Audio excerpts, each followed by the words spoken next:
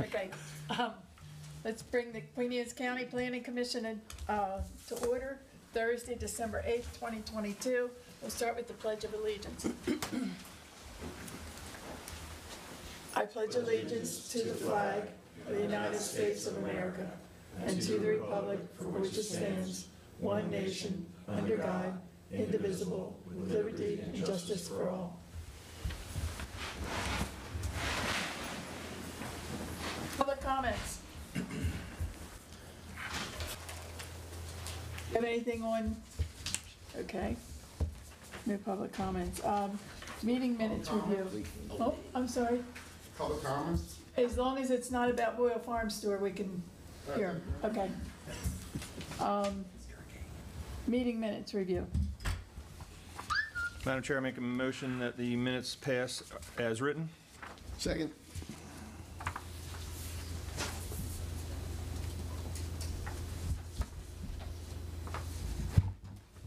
All in favor? Aye. Any opposed? Okay, extension requests are none. Uh, Updates, legislation and legal matters.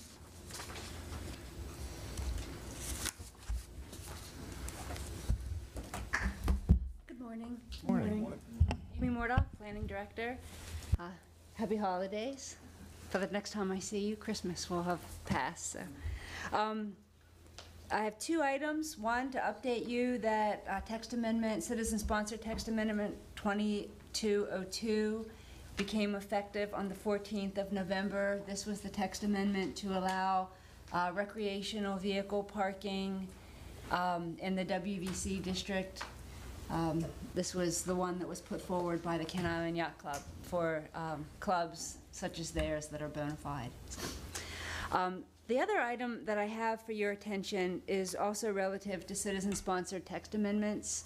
I wanted to put this um, idea before you for recommendation to the county commissioners. And, sorry, what I'm asking is that while staff is in the middle of the update to the critical area ordinance, which is chapter 14-1 of our code, um, while staff is drafting that update and working diligently to meet a deadline to have this done, uh, hopefully this summer for um, public hearing and review, uh, a 20-year delay in updating this code that we're hoping to end. Um, We would ask that during this time, text amendments not be accepted during the 10-day citizen-sponsored period uh, relative to changes to the critical area program while staff is updating it. Um, not to say that we are not, staff is not open to being approached by citizens who are looking for specific amendments. Uh, We would certainly uh, welcome that input and work with any citizens who are working on text amendments. We know of just such a case and would actively work to incorporate uh, those requested changes. It's just that procedurally, we think uh, we would not like to see an individual text amendment come through while we're updating that code. Uh, We would like to make sure that we're comprehensively looking at the chapter and putting forward um, a complete update for public review for you and for the county commissioners. Do you need, do you need a um, recommendation from us for the commissioners? Yes, so I would ask if you are um, in agreement that this update, this comprehensive update should occur um, without receiving a piecemealed interruption. And what we're also concerned is that that might take away time from staff to expeditiously get that update um, completed. Um, You were asking if you think that is a, a good idea, that you would send a favorable recommendation to the county commissioners, uh, who would ultimately make that decision. This is with respect just to text amendment, citizen-sponsored, that would impact critical area, right? Correct. If they want to put a widget somewhere else, that's still on the table for them public. Correct. And uh, we would hope that if.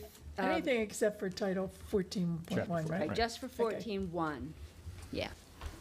But you would still be willing to sit down and listen to them if they came into your office? Oh, if they- I'm sure. If it was uh, reasonable and to be incorporated. Yes. Well, even if it's unreasonable, we'd, listen. We'd still listen, yes. even if it's unreasonable, we listen to it. Yeah, okay, yeah, that's fair, that's fair. And that also, we feel like that is a, might be a more expeditious path because it will be wrapped in to the update that the staff is working on. And we're working closely with the Critical Area Commission on that update. So good and bad ideas, we would vet through the uh, Critical Area Commission and hopefully find a middle ground to move them forward. Okay, uh, can I get a motion to that effect? Uh, Madam Chair, I move that we um, provide a favorable recommendation um, based upon the planning director- planning director's recommendation regarding citizen-sponsored text amendments. Second? Second. All in favor? Aye. Any opposed? Thanks very much. So much. be it. Thank you. Um, anything else? No, that's all I have today. Okay. All right, projects, concept plan, Royal Farm Store, Steve Johnson. Good Morning, everyone. Hope everybody's having a good holiday season so far. Um, I'm Steve Johnson, County Planner for Queen Anne's County Planning and Zoning. Um, As Ms. Dobson stated, we're here to discuss uh, file number. Excuse me, S- Steve, can I pause you for just Sure. a moment? We, our uh, monitors are on. Do we just turn the power on? Oh, yeah. So we can see what you're seeing? Which one is it, left one? Top one on the left here. Can you hear this? Okay. Yep. Top left. Thanks. Oh, There you go. Top, up here. Left, or leftmost. Sorry, Steve. That's good. Is everybody good to go? Okay. We're warming up. As Ms. Okay, we're Dobson. on. Okay, as Ms. Dobson stated, we're here to discuss file number SP number 19-12-0047, uh, otherwise known as Royal Farm Store number 218 for Two Farms Incorporated. Um, The applicant's proposing to administratively combine three lots to construct a 5,154 square foot convenience store, six gasoline fuel islands with 12 fueling positions, and a 1,248 square foot car wash. Uh, They are requesting concept plan approval here today. And this slide gives you a general location of the project site. Uh, It's located in the western portion of the county in Stevensville, south of Route 50, adjacent to the airport. Uh, More specifically, tax map 56, parcel 335, lots 3, 4, and 5, total 5.531 acres, and are located at 336 Romancoke Road in Stevensville. Uh, As a part of this development plan, the applicant will propose an administrative subdivision to combine the three lots into one resulting parcel. Now, You can see the three lots there outlined in black. Parcels are, uh, the lots are zoned urban commercial and are located in the Chester-Stevensville growth area.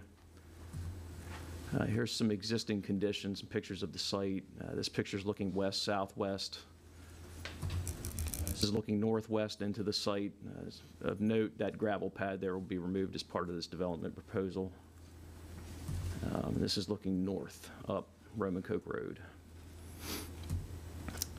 Uh, The site's partially located in the critical area. 2.035 acres are located in the limited development area, or LDA, shown here in yellow. And 1.116 acres are in the intensely developed area, or IDA, uh, shown in red. Uh, There will be no development proposed in the LDA.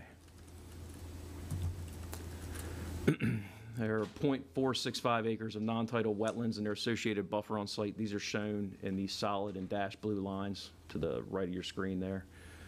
Um, The applicant's proposing to disturb .224 acres and has received authorization from MDE for this disturbance. And a copy of that authorization was included in your packets. Uh, There are 4.009 acres of woodlands on the site. Uh, They're proposing to clear 1.186 acres, that area clearing shown in brown. Um, Forest conservation requirements will be met on site through the long-term protection of .34 acres of on-site woodlands. That's the shaded green area there, kind of underneath the wetlands. And the planting of .1 acres or 18 trees in accordance with the requirements of 18.2-14 or fee and lieu, which will be decided site plan. Um, uh, There are no other natural resources beyond what you're seeing on that screen there. Here's a look at the concept plan. The store, the car wash, and the gas pumps are highlighted in black with the cross hatching. Um, As you can see, the site's sort of bookended by an existing commercial building. That's a daycare to the south. Uh, To the north, there's an existing gas station with a car wash. Um, Conceptually, all the urban commercial non-residential development standards are met. Uh, The property will be served by public water and sewer. Uh, Stormwater is provided on site and will be reviewed and approved by DPW. And all 64 required parking spaces are provided on site. This information on the slide was included in your package, this is kind of the road exhibit. Um, The site has multiple points of ingress and egress. Uh, The northern driveway will serve all traffic entering the site. This is southbound right-hand turns and northbound left-hand turns. Uh, The southern driveway will serve traffic exiting the site. That would be southbound right-hand turns and northbound left-hand turns. Um, As most people in this room are probably aware, Route 8 is fairly heavily traveled. Um, Throughout the review, staff had concerns regarding the inter, excuse me, the interaction of vehicles entering and exiting the site with oncoming vehicular traffic, bicyclist, and pedestrian activity. Um, To address those concerns, the following improvements are proposed along Route 8. 11-foot wide dedicated northbound and southbound travel lanes. You can see that there at the blow-up at the bottom of your screen. 11-foot wide shoulders on both the northbound and southbound sides. 12-foot wide dedicated left-hand turn lanes on the northbound side. And it's important to note that the shoulders south of the exit will serve as a combined acceleration, emergency, and bike lane, and will be marked as a bike lane only. There are representatives from DPW and State Highway here in the room to answer any of your questions regarding the traffic or the roads here at the site. Um, The applicant is also prepared to answer any questions you may have. This slide gives you an overall perspective on how the proposed development fits into the surrounding area. Um, It's important to note that the homes across Route 8 there have already been built out, and Kent Manor Drive has also been built out. The imagery on Queen Anne's County Property Viewer is a little dated. Um, These are the the following slides are renderings of the project. This is the front of the building looking south. Uh, This is the rear of the building looking towards the north. You can see the car wash there in the foreground. Um, The picture on the left is what you would see from Route 8 looking west. Uh, The picture on the right is from behind the building looking east. Uh, Here's a rendering of the car wash. The bottom left picture is what you would see from Route 8. And this is a look at the canopies uh, on site. And uh, with that, I'll answer any questions or turn it over to the applicants. I pose a question on the uh, waste discharge for the car wash. Is that going to be self-contained on site, or is that going to impact, uh, This is contained on site. Kevin, did you want to address that?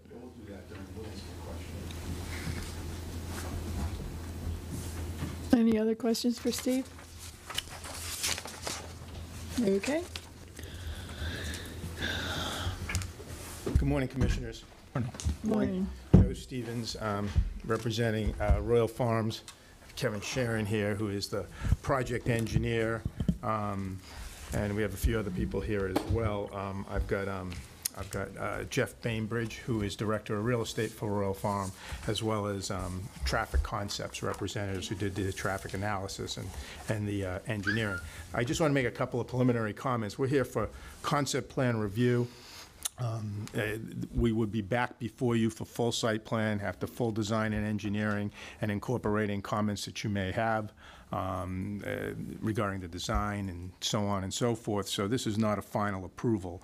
And if you notice on the staff report, um, we've been in this process since 2019 for this project. So it hasn't been something that's been taken lightly by either the county, the State Highway Administration, or the applicant. Um, Of course, COVID slowed things down for everybody for several months, for a year or so. But we've been back and forth and, and, and incorporated comments and come to solutions and so on in regards to um, issues involving design, um, architecture, and so on, but most importantly, traffic and traffic improvements. And so um, I have two traffic consultants here today that will address two different things. One is, is they're going to talk about just the overall APF. We've done the preliminary APF analysis a couple of times, and we'll update it again before we come to you for final site plan. Yeah. Adequate public facilities, I'm sorry, for traffic. Because, you know, there's no schools, and there's only 600 gallons of sewer, so there's not, you know, that we don't, we don't have it for those other two things. Um, And, um, and the second aspect is we have the design engineer who designed um, the um, improvements at the direction and, and uh, the oversight of the county and state highway administration, all the improvements, and to talk about those. Um, And uh, uh, most importantly, I think, is Royal Farms, as you know, you know, they got four stores right now in the county. They're a Maryland business. Um, And what they have the capability to do, and what you'll see, is they have the capability to work with the local jurisdictions to do the improvements that they think are important in areas that are designated for this type of growth and development. Um, And the, you'll see that it's, that what they're proposing to do is extensive and is going to make improvements to this part of Route 8 uh, that will um, uh, result in a situation that's better there for pedestrians and for traffic than exists right now. So they're going to be doing above and beyond what they're, you know, above and beyond just what impacts they're putting in the area. And I think it's important to realize that they're doing that because they're, they are a, um, a a large company, you know, but they're local, they're Maryland, but they're large, they have the capability, they have financial resources, and they're doing it. So with that, what I'm, go- Question, why concept if you don't need a master and sewer well, that's a good question, because I, I went back and forth with Public Works and with um, planning on that. We initially submitted it as concept, um, and uh, because it's a project in an area that is, gets a lot of attention, um, and because there are a number of traffic improvements being proposed, staff wanted us to come in for concept, and we agreed to do it. And, and it makes sense for the applicant, because we get, can can incorporate comments you might have before we go to final engineering. So that's why we're here for concept plan. But in regards, Mr. Drummond's right, we don't need a, a master water and sewer plan amendment, and our allocation, at least right now, according to Public Works, is administrative, because it's only 600 gallons in addition to what we have, which is, so is that right? Right. About 600 gallons. Additional, yeah. Okay. So with that, I'm going to turn it over to Kevin, and staff does a a thorough job, so we're not going to rehash what they've, what they've gone into. Good morning, Kevin Sharon, DMS and Associates. Um, Just wanted to go through some of the, the site particulars. Uh, Mr. Johnson did a good job of, uh, as usual, going through laying out the site plan. I just wanted to hit on a couple other things. Um, Just to reiterate, the resulting um, parcel will be five, basically five and a half acres.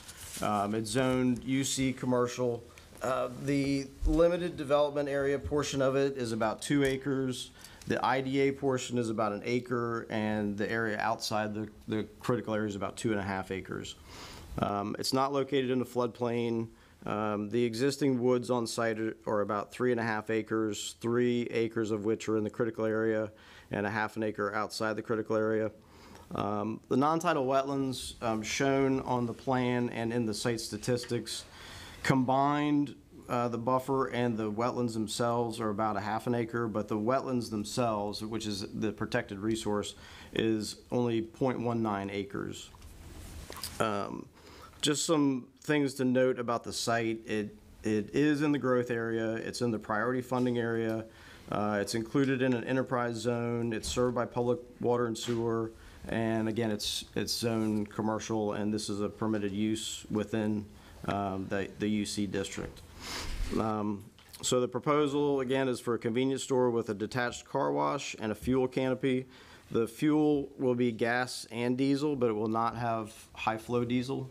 Um, We're not attracting uh, tractor trailers, um, and it will not be a truck stop. It'll just be a convenience store with gas pumps. Um, other thing that's interesting to note is the five and a half acres in this district would allow a floor area of over 96,000 square feet. Um, And we're proposing a combined of 6,400 square feet. So that's 5,100 for the um, convenience store and 1,200 square feet for the car wash. So that's less than 7% of the permitted floor area is what's proposed uh, for this project. Um, Of the five and a half acre property, the limits of disturbance is just over three acres. So just about 50, 56% of the site is within the project development area. And again, no disturbances proposed within the limited development area of the critical area. The parking proposed uh, meets the required, so we're not exceeding any uh, impervious cover limitations. Um, There's 64 spaces required and 64 provided. Um, We're disturbing less than an acre of woods and retaining two and a half acres of woods. Um, We have, again, for the, for the wetlands, the wetland pocket itself is .19 acres. Um, And we have uh, minimized the disturbance of the wetlands to .08 acres. Um, We submitted that disturbance to MDE. They reviewed it and confirmed and agree that it's a a- a minimization of the disturbance and have issued a permit for, for that disturbance. Um, And I will note that as part of the stormwater management requirements, we're creating a wetland adjacent to the existing wetland will be considered a uh, submerged gravel wetland per MDE standards. Uh, We've provided um, a conceptual stormwater management report that shows compliance with um, current re- regulations, the ESD to the MEP. We're providing on-site four bioretention areas and then the submerged gravel wetland that I just uh, mentioned. Um, The portion that's in the critical area has to meet the 10% pollutant reduction, and we are, uh, we've demonstrated that we are providing a reduction of 0.8 pounds of phosphorus versus the required 0.5 pounds of phosphorus, so we're exceeding that requirement. Um, A conceptual landscape plan has been provided, that's before you right now. Um, A lighting plan will be designed uh, as we move through the site plan process. Um, Lighting will be dark sky compatible and no spill onto adjacent properties. Um, On an electrical side, also, um, Tesla has contacted Royal Farms and expressed interest in providing uh, charging stations at this site. Um, In terms of the architecturals, Steve, if you don't mind putting up those perspectives, we, Don't forget the car Glad you're wash. going there, because I have some questions that? about that. Don't forget oh, the yeah, car yeah, wash. I'll- I'll mention the car wash. So regarding the, the car wash, um, to answer your previous question, the, the car wash is approximately 90% recycled, and with about 10% of the, the water usage goes to the sewer system. So- So we've provided, the architect has provided a couple of perspectives. These are site-specific. This is looking from the north entrance, kind of uh, southwest, if you will, into the site with a canopy, and the, uh, the Get that- store. Do we get that gas price? Yeah, I, I was, I was gonna have, him- I was gonna have him amend that, but I didn't, I figured it would be worth a laugh. Maybe those will come down to that one day, but probably not. And then the next persec- perspective is, uh, from the southern egress, um, looking to the car wash and, uh, and the store. Um, And you'll, you'll notice, we've worked with staff. Um, Staff had some con- concerns about the architectural facade facing Route 8 because the store itself is kind of turned um, parallel to Route 8. And so Royal Farms and their architect have provided uh, a a peaked roof on the facade facing Route 8 to kind of dress that up and make that more of a, um, a front, uh, a front look. Well, let, let's address that. Um, About 20 years ago, the, a small um, commercial building, two down, where, where the pizza place is, um, I built, started building that building with a flat roof, and we made them stop and put a pitched roof on it. Why? We got a flat roof here.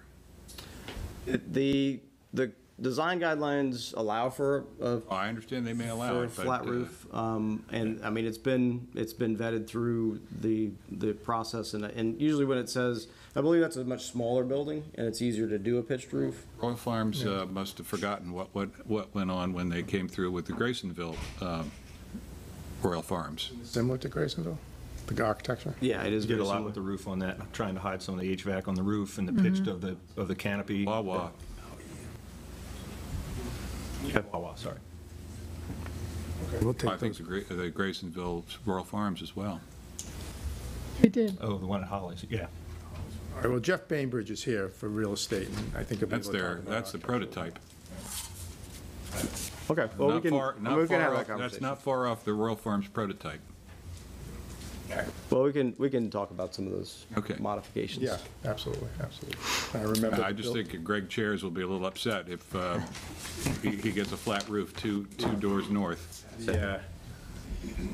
Okay, well, we'll, we'll, we, we can have that conversation. Um, but regardless, the, the rest of the building is, um, you know, constructive, high-quality materials and varying colors and textures and, and uh, in keeping with the UC design guidelines. Um, regarding the, the state highway improvements, um, that was, uh, and back to your earlier question about the concept plan, the, the, when we started this project, actually back in 2018, the, the biggest issue was the, the access. And so it's basically taken that long. So our thought initially was to go for a concept plan review um, to see the planning commission's view on some of the accesses we were proposing. In the meantime, we've been able to work it out with DPW and State Highway and come to a plan where we believe everybody agrees.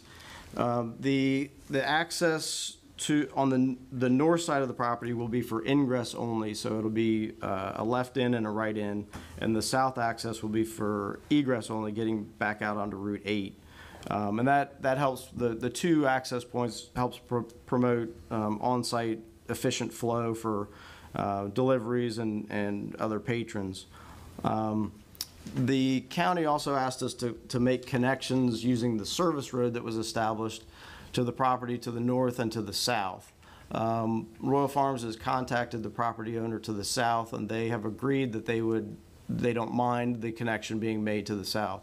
The property owner to the north, um, although that property owner has changed, I believe, um, did not, at the time, did not want to have the service road connect. So we're showing the connection to the south, but we're, we're showing it as a possible future connection to the north. Um, And then the other thing to point out, and, and Traffic Concepts representatives will go through the improvements that we've worked with DPW and State Highway and DPW, the county's traffic consultant. Um, They'll go through those in more detail, but just to point out, the, the Royal Farms frontage along Route 8 is 385 feet. And just to give you, and and typically you would, you would make your improvements within that frontage. But the, the improvements that are being proposed um, to fix basically an existing traffic issue at this location, um, we're going from the 385-foot frontage to 1,875 feet of state highway improvements to, uh, to provide the lanes, provide the shoulders, provide dedicated turn lanes to make this area more efficient and, and safer for, for the uh, vehicles. So with that, I will turn it over to Yeah. Traffic Concepts unless you have any If, I was questions. to have traffic concepts come up unless you have questions on engineering and design. Okay, so why don't we start with Mark Keeley? Mark's just going to give you a very brief overview of A- what he's gone through for APF review, adequate public facilities for traffic, and that standard.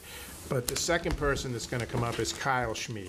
And Kyle Schmid is an engineer, PE, and he designed all the improvements. He's done the conceptual designs, and then in between now and final site plan, he'll do the actual engineered designs of these improvements, um, assuming that um, that- that's what, that's what, you know, the county and the state decide ultimately they want. So, Mark, just give, a- if you could, in terms of what you've had to do for APF.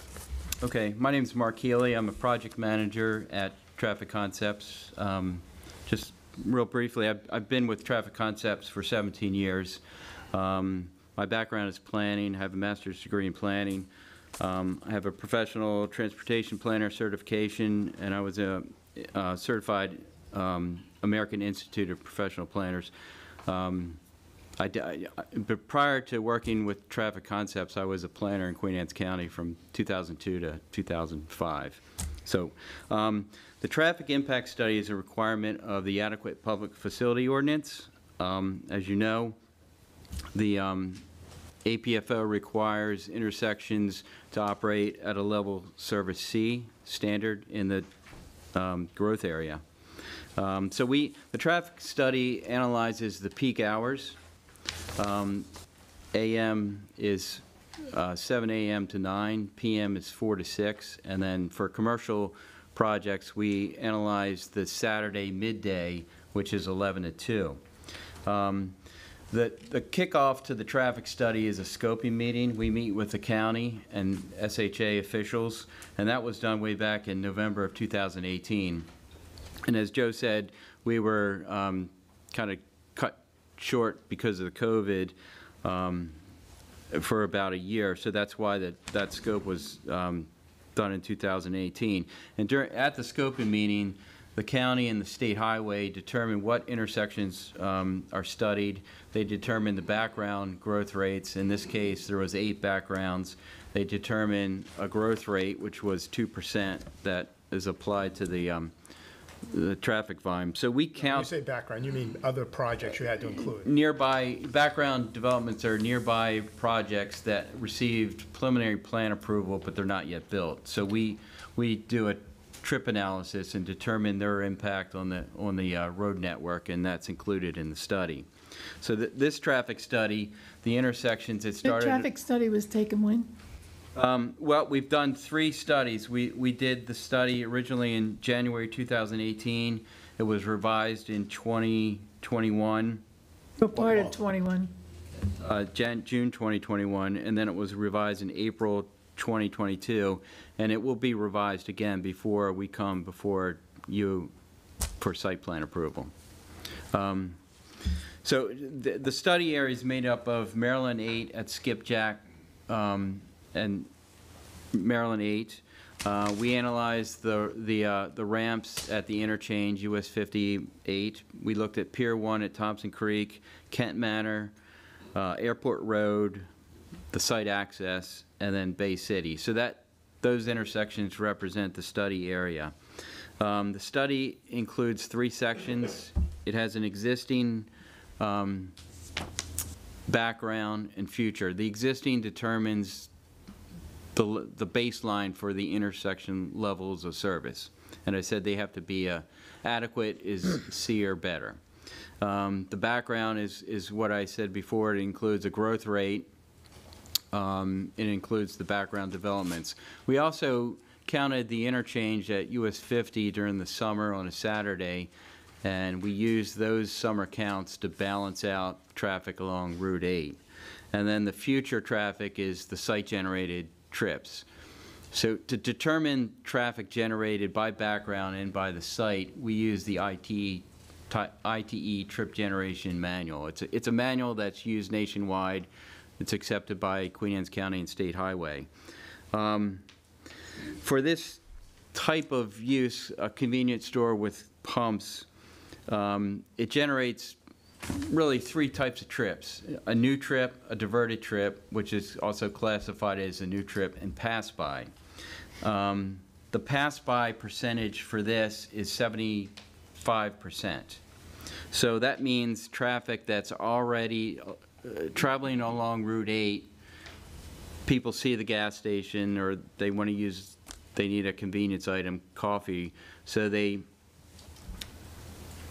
they pass by the site, they enter, and then they exit and continue on their way. So that's a pass-by trip. A new trip is uh, a home-based trip to, to the site back home, or from work to a site and back home.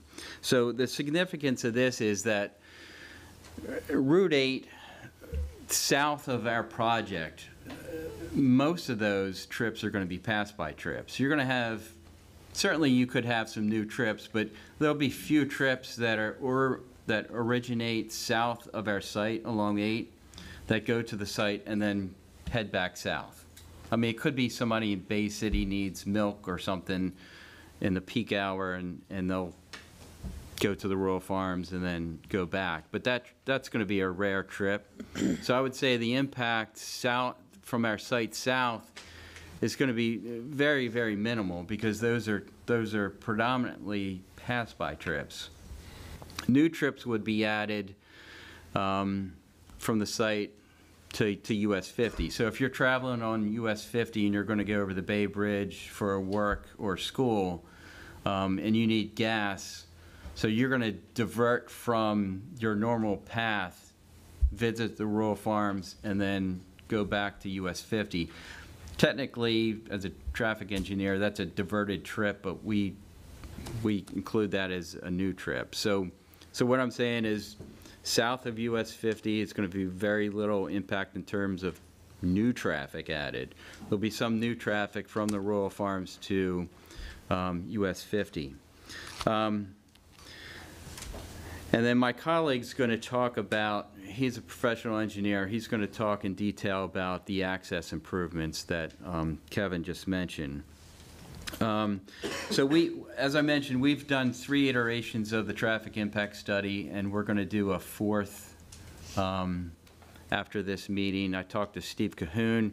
I understand there's some fields at Batts Neck, Batts Neck Park that are under construction, and they'll be part of the background, and then we'll update the counts um, because of the time frame, the, the long time frame that's gone by. But at this point, um, we don't have adequate public facility approval yet. That will, that will come later. But we've, we've talked in depth with State Highway and the county planners. Um, We've addressed all comments to this point, um, and the conclusions of the traffic study are the off-site intersections, and uh, primarily because of the pass-by trips, they're going to operate at a levels, level of service C or better. Can you explain what the level of service Sure. means? We have some new planning commission members. Yes. So the levels of service, intersection analyses are uh, conducted in this county with the critical lane volume. And what the critical lane volume technique measures is the through traffic and opposing lefts. So those are the critical trips because they oppose each other. The levels of service is, it's a qualitative measure of how an intersection operates. So zero critical trips to 999 is a A-level service. There's a scale, so every 150 additional critical trips, the level of service goes up. So, uh, um, so you can see how, how that works. It's 150 critical trips bumps you up to the next level of service. And then does it impact wait times and so on? It's basically, how long do you have to sit at the intersection? It's, it's, uh, there's other methodologies that look at um, levels of service that measure delay, but in this case, it measures um, the number of critical trips, which does deal with delay at an intersection.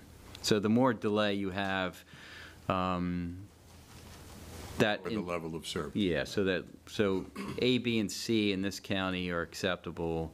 Um, D, E, and F are um, unacceptable lev- levels of service. So And at that point, they usually require improvements to improve the level of they, service. they do. Um, And if there's a D level of service, um, we're required to, to mitigate air impact. So you have to put everything back the way it was before you got there. And that's done through light improvements and a- adding lanes and things of that nature? adding capacity or, yeah, uh, changing the intersection control from, could be a roundabout, could be a traffic signal, it could be, you know, signage. So to, to conclude, um, the, the findings of the study, we're at um, a level of service C, um, and we expect that condition, condition to continue as we move forward with the updates of this study. Question, how close were you to becoming a D versus a C based on your current studies? Um, I don't, I don't, there were no intersections that were teetering on D. We're solid, solidly in a C level service in terms of critical trips. All right, Thanks, Mark. Okay. Uh, Kyle Schmid, who is also, he's an engineer with traffic, uh, traffic uh, concepts, he's going to put up on the board the actual improvements and walk you all through them, so you know what's being proposed. Now, those haven't been finally designed because they're conceptual design at this point, but will be designed and then have to be bonded and secured, you know, when we come in for site plan approval. All right, thanks, Joe. Um, Good morning, everybody. My name is Kyle Schmid. I'm uh, the lead design engineer and project manager at Traffic Concepts. I have a bachelor's degree in civil engineering. Um, I've been at Traffic Concepts for 14 years now. I'm a certified professional engineer for over 10 years. So You may need to speak up a little. He gets that from his dad. Yeah, no. Um, And I'm also a certified professional traffic operations engineer for over six years. Um, Both exams are for um, over eight-hour testing, and the PTOE exam is the highest exam I can take in my field. So, um, just to, you know, Joe's done a great job in the earlier slides, did a great highlight on the, the initial overview of the conceptual improvements we're doing along Maryland 8. Um, But just So up on the screen now, this is a concept plan that we had put together. Um, This is just the existing condition, which is basically just a baseline to show what the current layout is. And the following slide um, is our proposed condition, which I can go into a little bit more detail on what we're improving as far as improvements go on Maryland 8. Um, But just to step back before I get, Speak up just a little bit. okay, sorry, all right. I'm a quiet guy, sorry. Um, So just to step back before I get, I will go into detail about all the improvements on this concept plan that's up on the screen now. But just to, just do a brief overview of um, all the effort we put in with coordinating with the state highway and Queen Anne's County on coming up with this, this layout that's up on the screen currently. So um, our team understands that this section of Maryland 8 is very sensitive in terms of traffic and we have spent over two years coordinating with State Highway and the county through conceptual site and roadway design reviews in order to maximize safety for vehicles, cyclists, and pedestrians. Uh, Royal Farms proposed conceptual design improvements along Maryland 8. Um, They improved the layout that is currently in place today to make it more safer, and they go above and beyond all required state highway improvement um, tables and and specs that we're required to meet as far as improvements go. Um, The State Highway Administration, as well as the county, have reviewed the current proposed condition plan and have no further comments on the design and see as an acceptable layout. The proposed condition plan will be fully engineered and approved by the State Highway Administration and county before we are back for site plan approval. Um, And I'll go into a little bit of detail on the concept plan up on the screen now. Could you zoom in maybe just to just so I can kind of, um, just maybe to the center is fine. A bit more? Uh, yeah, if you just want to maybe center it towards the right in the site.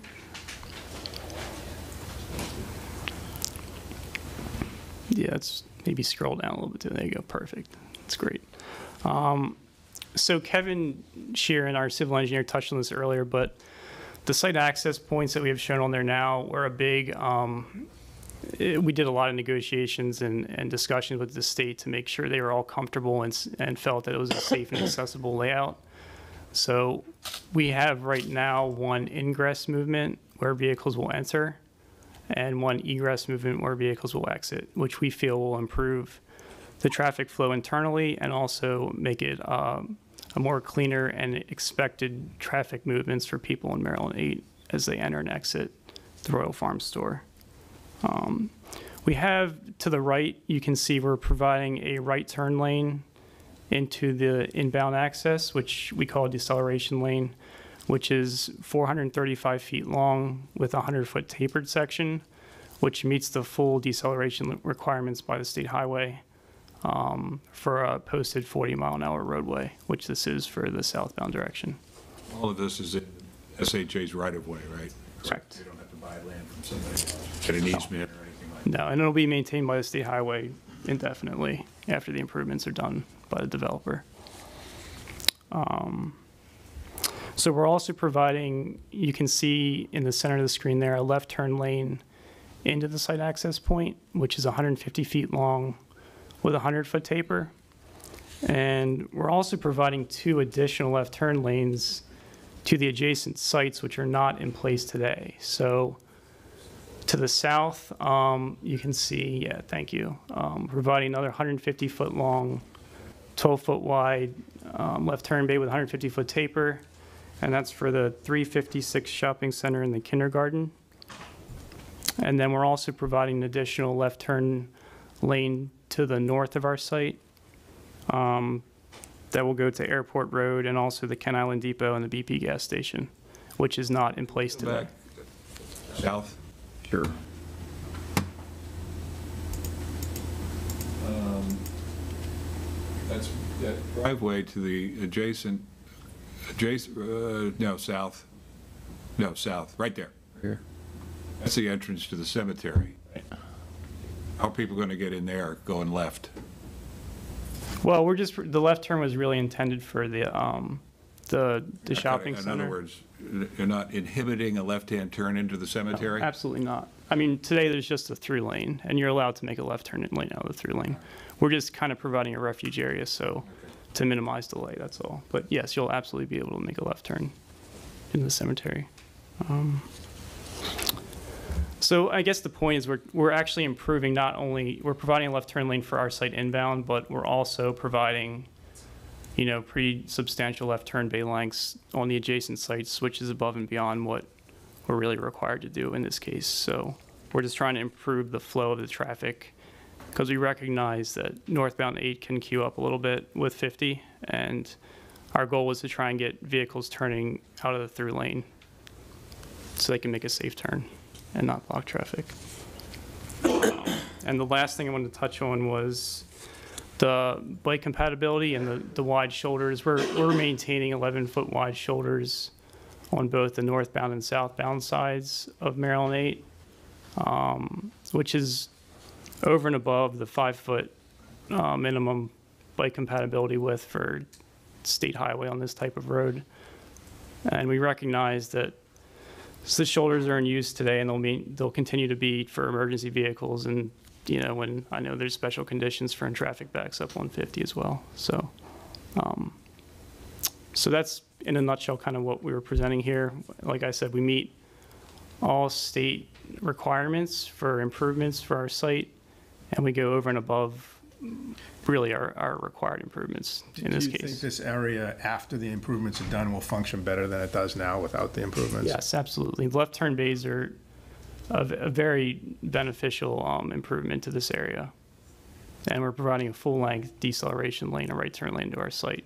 And not just for our site, but for uh, other Yeah, and they'll sites? go across the front. You can see they go across the, um, that BP gas station and the convenience store as well as Airport Road, which do not have any shoulder. It's like a, I think a three or four foot shoulder today, so they don't have a turn lane to get in there. Uh, so we'll be providing that as well. Okay. Yep. I can get, I can get on my bike and go through there uh, with less fear of getting run down than I am right now.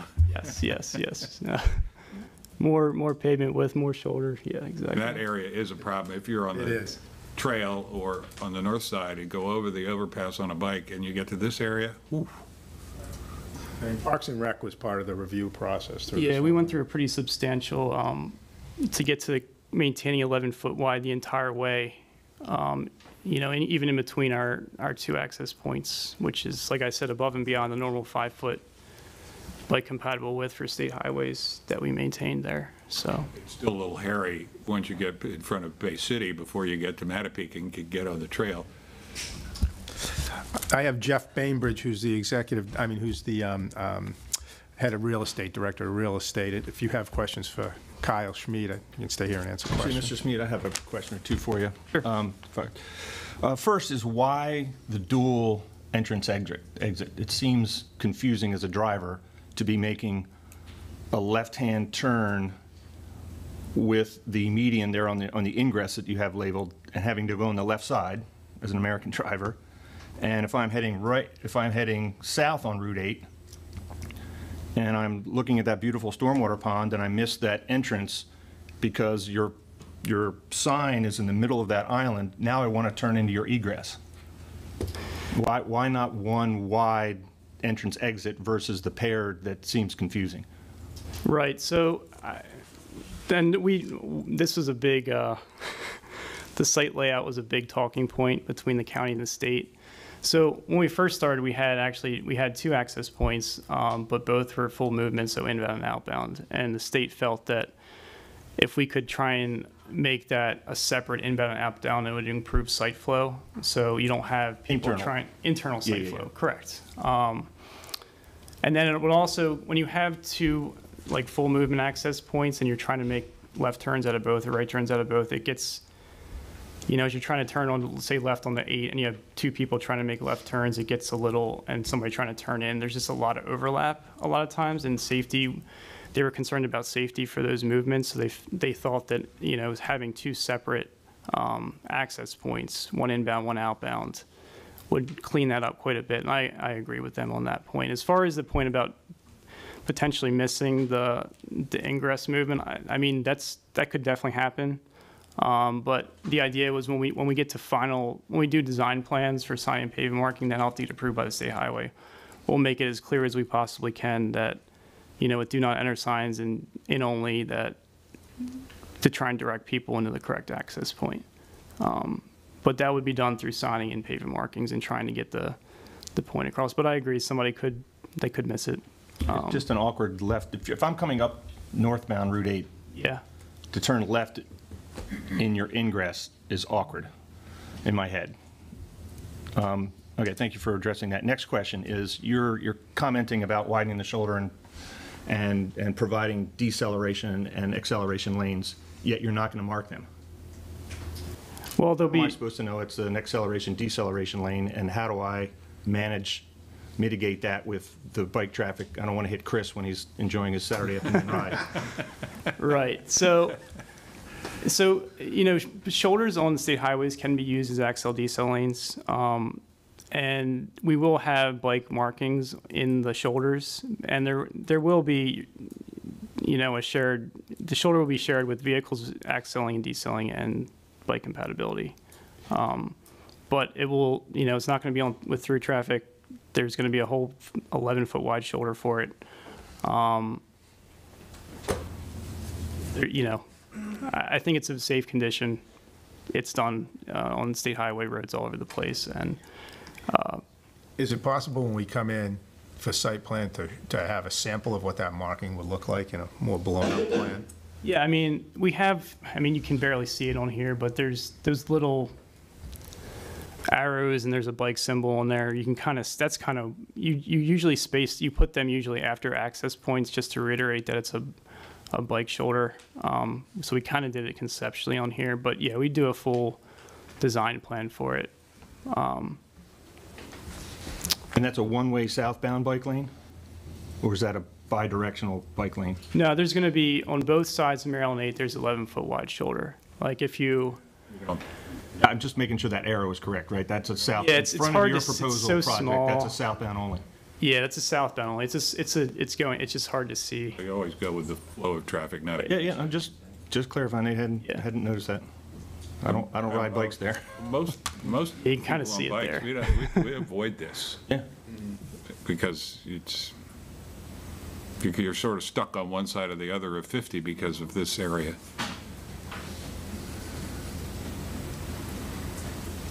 Thank you. Thank you. All right, thank you. Thanks, Kyle. Thanks. Jeff, you want to come up?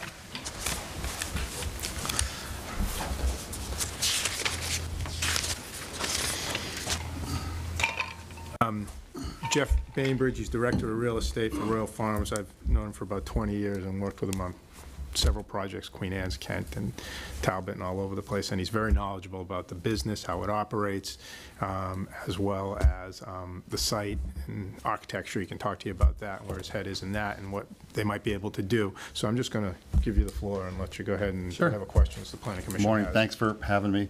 Um, Yeah, Jeff Bainbridge, Director of Real Estate for Royal Farms. Seen some of you before in other projects, welcome to see you again. Um, We're a Maryland-based company, Two Farms Inc., operating as Royal Farms. We're based in Baltimore. Um, We have about 260 stores. But even though we're based in Baltimore, the Eastern Shore is very important to us. This is our fourth store. Um, We have four operating stores in Queen Anne County. We um, employ about 75 employees. Uh, We generate about $80,000 in real estate tax that goes directly to the county. Um, We'd we love this for the, for this to be our fifth. Um, Everywhere we go, we try to find a win-win, as Joe and others have talked about, um, as far as design, whether it's architectural, traffic improvements, um, and other comments that might be coming up from uh, the staff or, or um, you, the board. Um, If there's more architectural comments that need to be made, we'd be happy to look at them. We got to try to find a win-win, and, uh, um, but we're uh, like, excited to be here, and uh, here to answer any questions you might have. Do you know if there's much of a difference between um, Grasonville and here? You know, I, I tried to text after you asked the question, and I didn't get a reply back. I did the Grasonville store. I'm not privy to the actual architecture, but we can look at that. Um, Again, if there's something, we already made some design um, changes on the architectural there based on comments before, We'd be happy to look at that again. If there's something we can incorporate to, to meet your needs or the community's needs, we'd be happy to look at it. Mr. Bainbridge, have you met with the fire department yet? We have Local not- fire departments? We have not met with the local fire department here yet. No. Have you, when is your plan to do that? Before site plan. Before we come back to you, I was Right. contacted by Mr. Schultz earlier this week. I talked With him. I hadn't talked to him, we exchanged phone messages, and we're going to do it before we come back, before we're ready to come back to you. Didn't he try to do it before this meeting?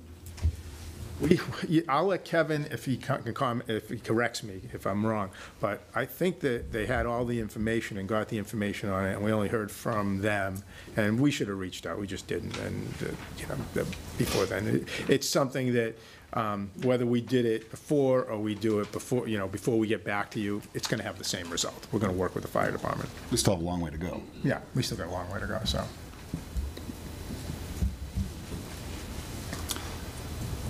Any questions?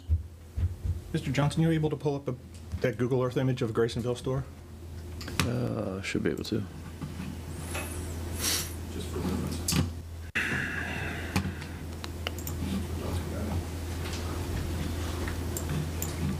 I do recall with the Wawa, there was the- the, uh, what do you call it, the thing over the pumps? Canopy. The canopy? What had to be It was pitched. actually angled Yeah. to sort of. We cha, we asked them to change that because they came in flat as well. So their, their standard canopy is angled. They came I in mean- flat, we had to pitch it back. I remember that Where's discussion. that, Rob? Well, they probably like that. This way? And and just while, while- while, while um, Mr. Johnson's getting that. Masonville. That's it there. Yeah. Um, There's no high-speed diesel at this site. Yeah, I was going to bring that up. Somebody brought that, um, that question up in the, in the lobby out there. So I think Kevin talked about that. There's six dispensers here. They're all um, for fuel. There is diesel offered there, but there is no high flow. There's no reason for a truck to come in here. Uh, There's no high flow diesel. We don't sell it. Um, And there's no reason for a truck to come in there. And having 260 some odd stores, 220 of them have fuel, those trucks don't come in. We have a history of knowing that, and they don't come into ours, Wawa's, or whatever. If you don't have high flow, they don't come in. But we No do, off. off-road- we do no offer diesel. off-road? Isn't it? Or just on-road diesel or off-road as well? It's, you know, we, we do offer diesel, it's just on high, high, high-speed No, diesel. Off-road diesel. Not sure what, uh, Non, non, I non-tax don't diesel for think- I- tractors. I don't think we do. ATVs and things. Yeah, I can double check on that. I don't think we do. It's kind of blocked there, Mr. Lee. So you can go down the but- side road, maybe? Yeah, that's Yeah, all. this is looking flat. Let me see if I can. Just remember going through it. There you go. The canopy was uh, sort of, uh, I don't remember all the How'd conversations we let now. that go by? I don't remember the conversations, but maybe it was the canopy that sort of blocked, not blocked, but broke up the. There's, So that was built a few years ago, so I, I- I gotta believe there's some architectural changes we've made since, um, this one was built, but generally, it's, it's the same version. I see the flat roof. I'm thinking of the Wawa, I think.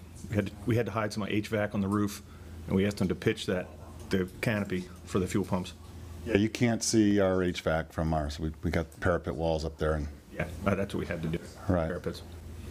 But again, these things come up. We've, we've, again, we've tried to find a way to, to work with the community and work with um, staff to, to allow us to still have a Royal Farm store. It needs to look like a Royal Farm store, but um, if there's something unique about the, uh, the site or the county or the the jurisdiction or whatever, we try to find a win-win. Well, and this one is kind of unique because you're doing it sideways, right? It's exactly it, right, yeah. So normally, you'll- like this, and you'll see the Wawa and other stores, the canopy is the main thing. You try to face the main road. So we turned that in this particular case. It worked from a operational standpoint, but it's not a desired layout for us. So, so you, you, um, you added a canopy to the Route 8 side, right, at staff's request? We didn't, Uh, Wait well, a minute, we got Rob Gunther's, uh, Gunther wants, Rob Gunther, uh, Principal Planner for the county. To the uh, elevations. So we looked extensively at the architecture for this. Um, This building's very similar, and so is the one in Queen Anne to the one that's getting proposed. Um, Staff had extensive comment on the roof line. We suggested um, looking at the one in Queenstown or the one in Easton as similar models because the design standards say it needs to fit in the neighborhood, which is much more residential in nature. Um, In addition, all the commercial buildings down there have full pitched roofs. So that's what we could get out of them, so we thought we could just bring it here to you and let the board decide. Um, If that's sufficient, it's sufficient. If not, they could make some changes. But They can do full Queenstown. Why don't you pull up Queenstown if you want, and we'll take a look at that one, because that's something that you, you want to take a quick look at? Well, The one that's being built in Easton looks nothing like these. Neither Uh, does that the Google existing Earth- one in Easton. Huh? Neither does the existing one in Easton. The one in Easton's white. Where's it being built? What does, That's on Route 50 They're building eastbound. a, a a great big one right there on the highway. Right, right, right, right. I've been there in a while. Norris, That- Norris that should uh, open up Concrete's any- Yeah. property.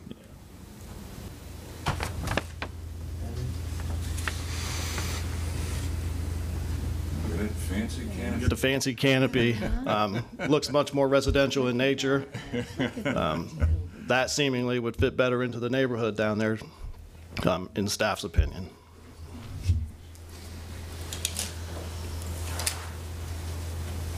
I like that canopy. Obviously, something on the side facade would have to be done to make it mu- look much more like the frontage if the building is still to have the same orientation, but And the, the business to the north, is it a 7-Eleven? Forget what that is. It's a BP, I think it's a BP. Does that have the same residential pitch roof as the business, Kent Island Depot? whatever's right next to the airport? Yeah. Ne- Immediately north to the proposed project. Yeah, it's got a, Want me to go to that BP? yeah. I was just wondering. Yes, that roof is pitched, as is the shore stop, just a little bit further north, directly across from the airport. Valero? Yes. Yeah. The commercial building adjacent to this has a full pitched roof, the daycare and the South, commercial right. strip. Yeah. And then the one next to it, after we made them stop and built it. Right, right. Yeah, that, okay. Yeah, exactly, okay. Thank you. I mean, we can take those comments back. That's why we came for concept plan and didn't fully engineer the site before we, before we, um, before we came in for site plan. So Again, these, I'm just going to go back to that previous question I asked Mr. Sneed, that, right, this business, the kindergarten and the the convenience stores, liquor store, sandwich shop to the south, only have one ingress and egress. I, I I don't know, it's a, it's, it's a curveball to me. Well, F two, I think, it- didn't that maybe two? there, were- they're maybe back the that's not the best At the airport. engineering. Are you uh, back to the arrow? know, I don't know. I fully understand why they don't want to connect to your property too. Oh, yeah. They're gonna get hammered. Necessarily. I'm all for Yeah, we have, now, we've done number stores. We've got existing gas stations, fuel stores next to us, and most of them stay open. They, they need to raise their bar, but uh, we did the same when Wawa came in here. Wawa's a Pennsylvania company, we're Maryland. They came into the market, we had to step up. Does, does the Kent Island Depot um, have a, does it sell beer and wine? believe So, They do, Does it what? I'm sorry? Sell beer and wine? they do. We will not. They can't get a liquor We can't get a license license, state law. While you're here, um, Mr. Bainbridge, the- the, uh, I'm que, I'm curious as to why you cited the car wash where you did, as opposed to, in this example, or in most of the other ones that come across my mind, that's sort of an ancillary, secondary thing, They- it's often in the back, it's often in a corner, it's not sort of as you, it's actually in front of, closer to Route 8 than your main building. Uh, Well, we like to have it visible to the dispensers, so, I mean, having it in the back of our site, Sorry, who's the dispenser? I'm sorry, where the fuel The- canopy the is. fuel. Oh, oh, So oh. we like to have our car wash, so when people are dispensing their fuel, pumping their fuel, they can see, oh, I can get a car wash here too. So putting it in the back of the site generally isn't attractive to business and, and, uh, and customers and and whatnot. But in this particular case, it is in the back of what we call the site, because we think the front of the site, as an operational standpoint, is where the canopy By the is. pump is, right, okay. Right, so if we put it in the back there, I'm not sure how it fit. I'm just curious to why you did. yeah. You tend to see them sort of on the side, right, not sort of as the focal point as I'm passing Chris on his bike as I go down Route 8. So again, this site is kind of turned 90 degrees, so we- Right. we had no choice to put it on the side on Route 8. Couldn't do that because it would block everybody and nobody wants to look at the car wash in the front and center. And then in the back of the site, um, as you're looking at on the, on the aerial here, on the, on the site plan here, I'm not sure how it would fit with the uh, tank truck, tanker truck coming through because the US the, s- the storage tanks are at the top of the canopy there. Right.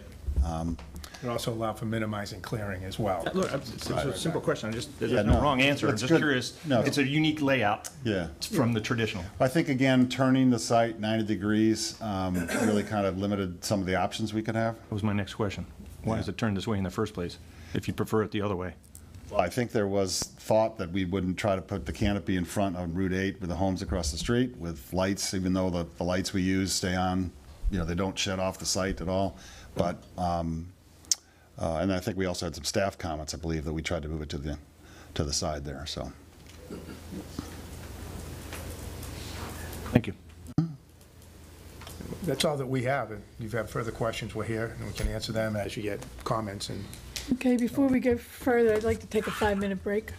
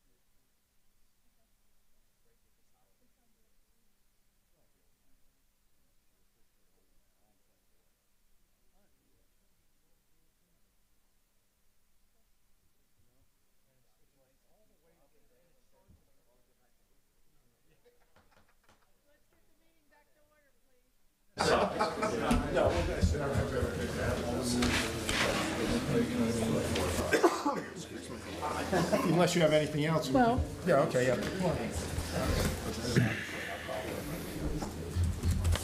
You finished with your presentation? Yes, we were finished with the formal Okay. presentation. So do we have any questions of the commissioners? I'd actually so. wouldn't mind have, hearing from someone in DPW. I see the county staff in the back, either Mr. Edgar or Mr. Porter, whoever would be both more well-prepared or professionally prepared to speak to the traffic uh, ingress, egress, accel, decel. I'd also like to hear from State Highway. Okay, well, then I'll step back. and- Okay. Thank you. Thank you.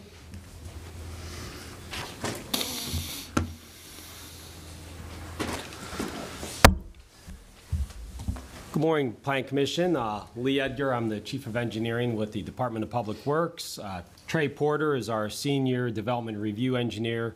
We also uh, have with us uh, Steve Cohoon, who manages the adequate public facilities studies, and he'll, he'll be back in the room in a few moments. So Trey is most intimately familiar with the project, but we've all been involved with it, so we can all speak to questions that you have and, and everything along those lines. Um, I think one of the important things to point out is that, uh, indeed, over the last three years, there have been, uh, was it seven proposals or so that have been rejected and come back. So it's taken a long road to get to the point to where it's at today. Uh, I would say that, Can, yes, what seven proposals?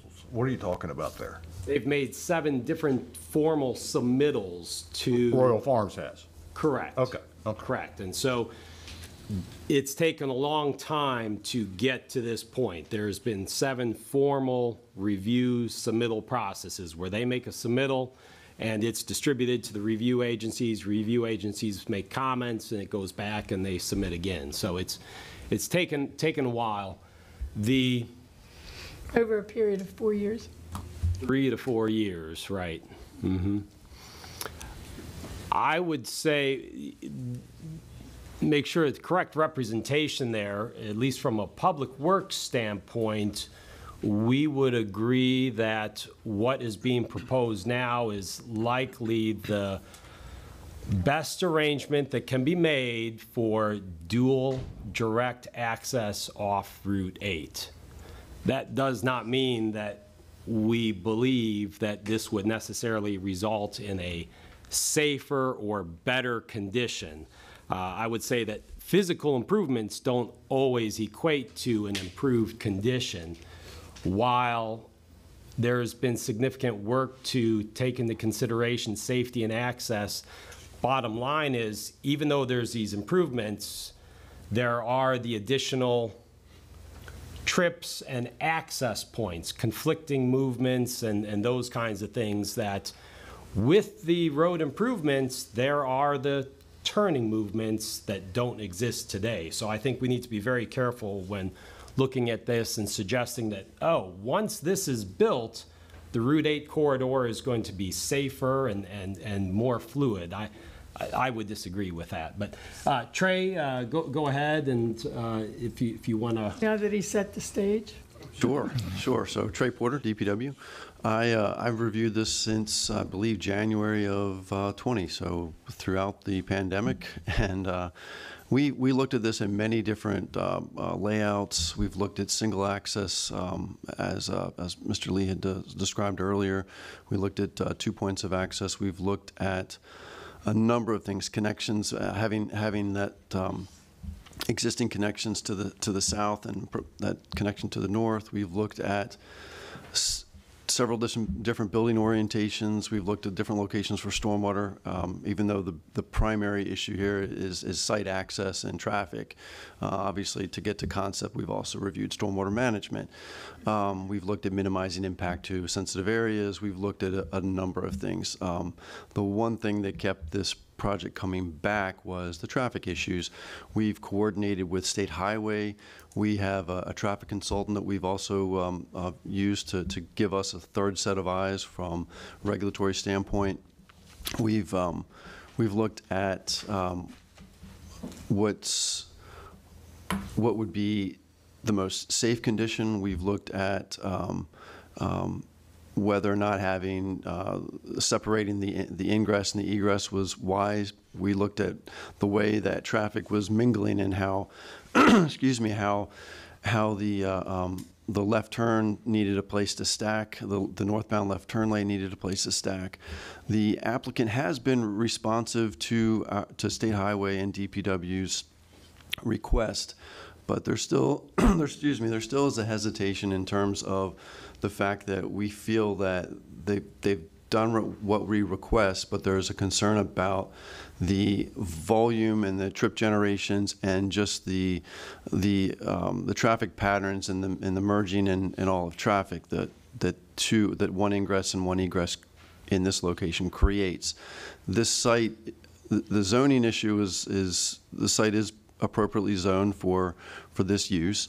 Um, I'm not going to comment on that, that's not my purview, but um, I will say that if this was another carpet business, if there was an expansion of the similar type of a, of a development that's to the south, that was less uh, intense, then we probably wouldn't be having the discussion. We would not be having two, an, an ingress and an egress. We would be um, looking more to um, minimize the access points.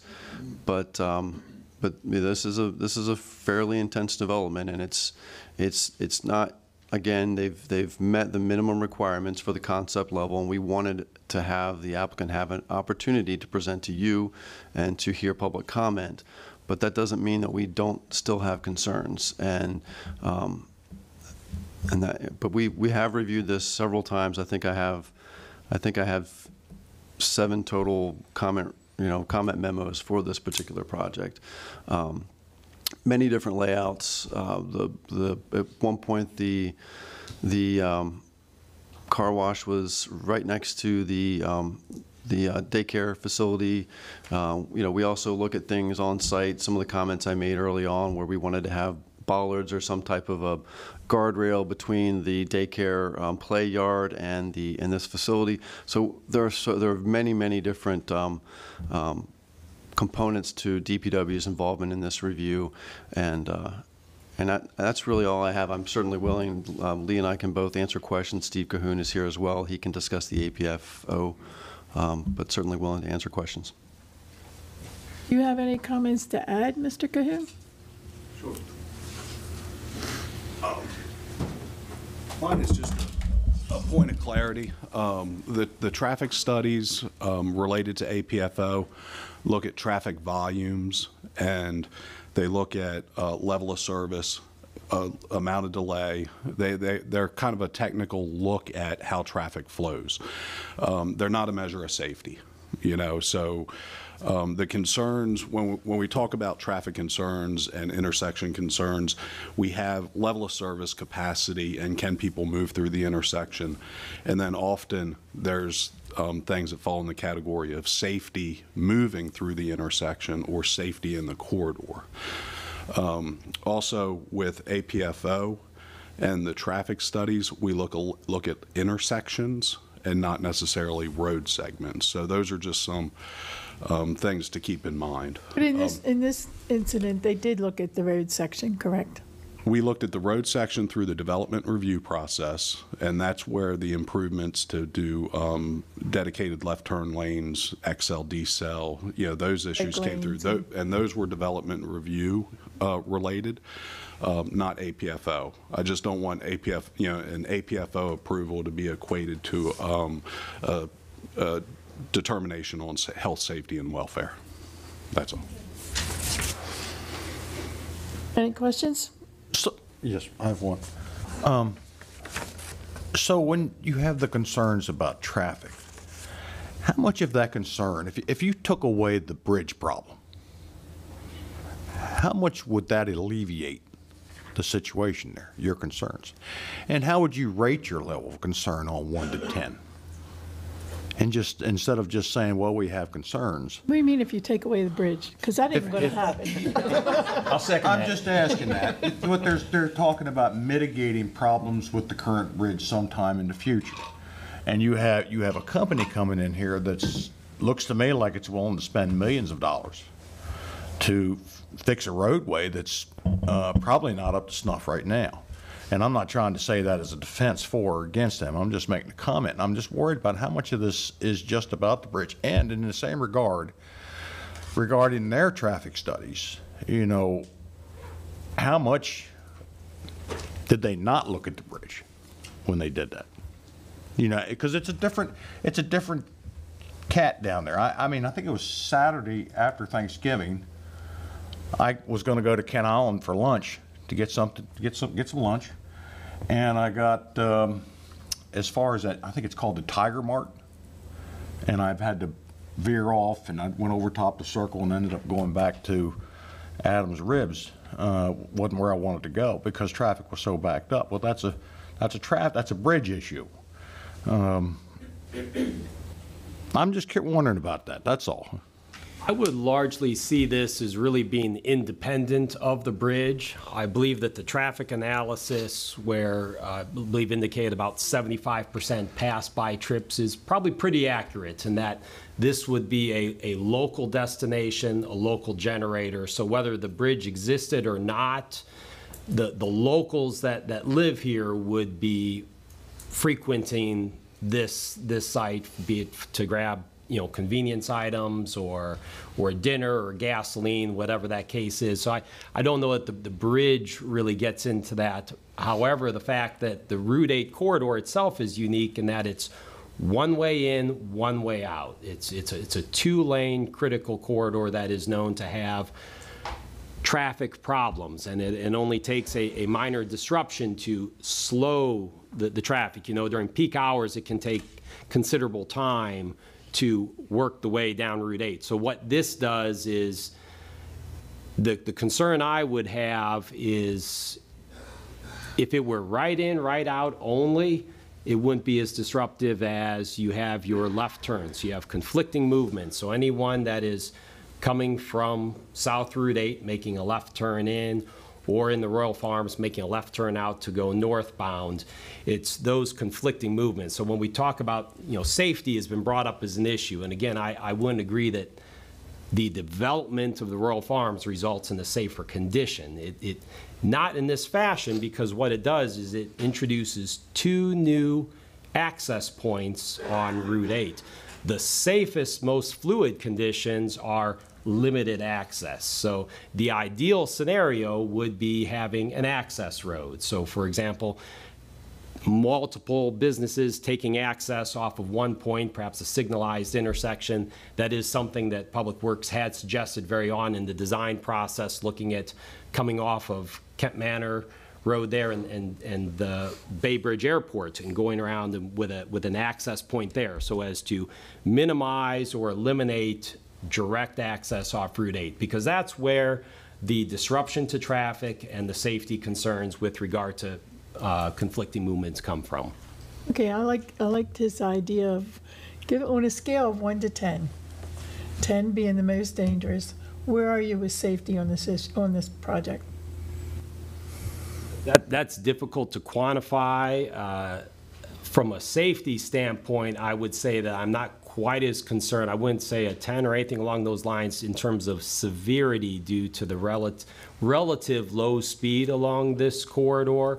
Uh, Some of the things with the What's the speed limit acceleration. there, 40 or 50? 40. 40. 40. With the acceleration and deceleration lanes, the idea there is what you're doing is you are, you are minimizing a T-bone type condition where you are bringing vehicles up to speed or off of speed off of that main line. So uh, safety, in- it considers not just the, the incidence of, of an accident, but the severity of it. And uh, Where are you? One to 10? I would, I would say I'm just moderately concerned. Uh, it- It's, it's an additional. Four, five, two? I mean, seriously. Yeah, I really can't- I'm going to ask all three Yeah. of you the same question. I don't know I can really put a number on it, but what I, what I can say is that the ideal, ideal scenario for Route 8 with the challenges that it has is to minimize access points, is, is really what it comes down to. And what this does is it puts an additional use with two new access points and those conflicting movements. And ideally, the ideal scenario would be that the, that this would take access off of, a- off of an access road, would be, if we want to talk about truly, we've created a, a safe access, that, that is, that's safety. Yeah, but I don't know if people could get to it if you did, like, Well, and that, and come in that. the back end. And that, and that, that's a significant concern. Whenever there's, direct access equates to much more, you know, you, one would be less apt to go to somewhere if, if there's not direct access. That's, the direct access is very important to making any kind of, um, you know, it needs to be convenient, and, and it would be less convenient. But, and I offer that because there, there were the, the statements made that when this is built, it's safer, and that, I, that, I don't believe that can be said. Right. Uh, So I think you're looking for a So, number? uh, I'm sorry. Go ahead. Um, I'm- I can't commit to a number, but I can say that when we, when staff creates comments, we have three options. We can say we recommend approval, we do not recommend approval, and in this particular case, the comment was that the applicants met the minimum requirements for concept. Mr. Cohoon. I think um, what what we're trying to represent is, you know, the planning commission asked questions about this different type of circulation and layout. It seems like the safety is And- the issue here. It, it, it certainly is. Um, certainly, this is uh, uh, intense use in, in a location. It's a permitted use in this zoning district. It's a commercial zoning district. It's permitted. Um, they're taking three commercial lots, combining them into one, um, and it's in a section. Which means that you could have had three accesses. Uh, or they could have done like the daycare did and have a service road situation. Um, you know, this, the daycare didn't have its own access point. So that being said, this is the application in front of us. Um, and, um, you know, I think everybody worked hard to come up with the best situation um, to put in front of the planning commission, the best circulation pattern um, that we think uh, will work. Um,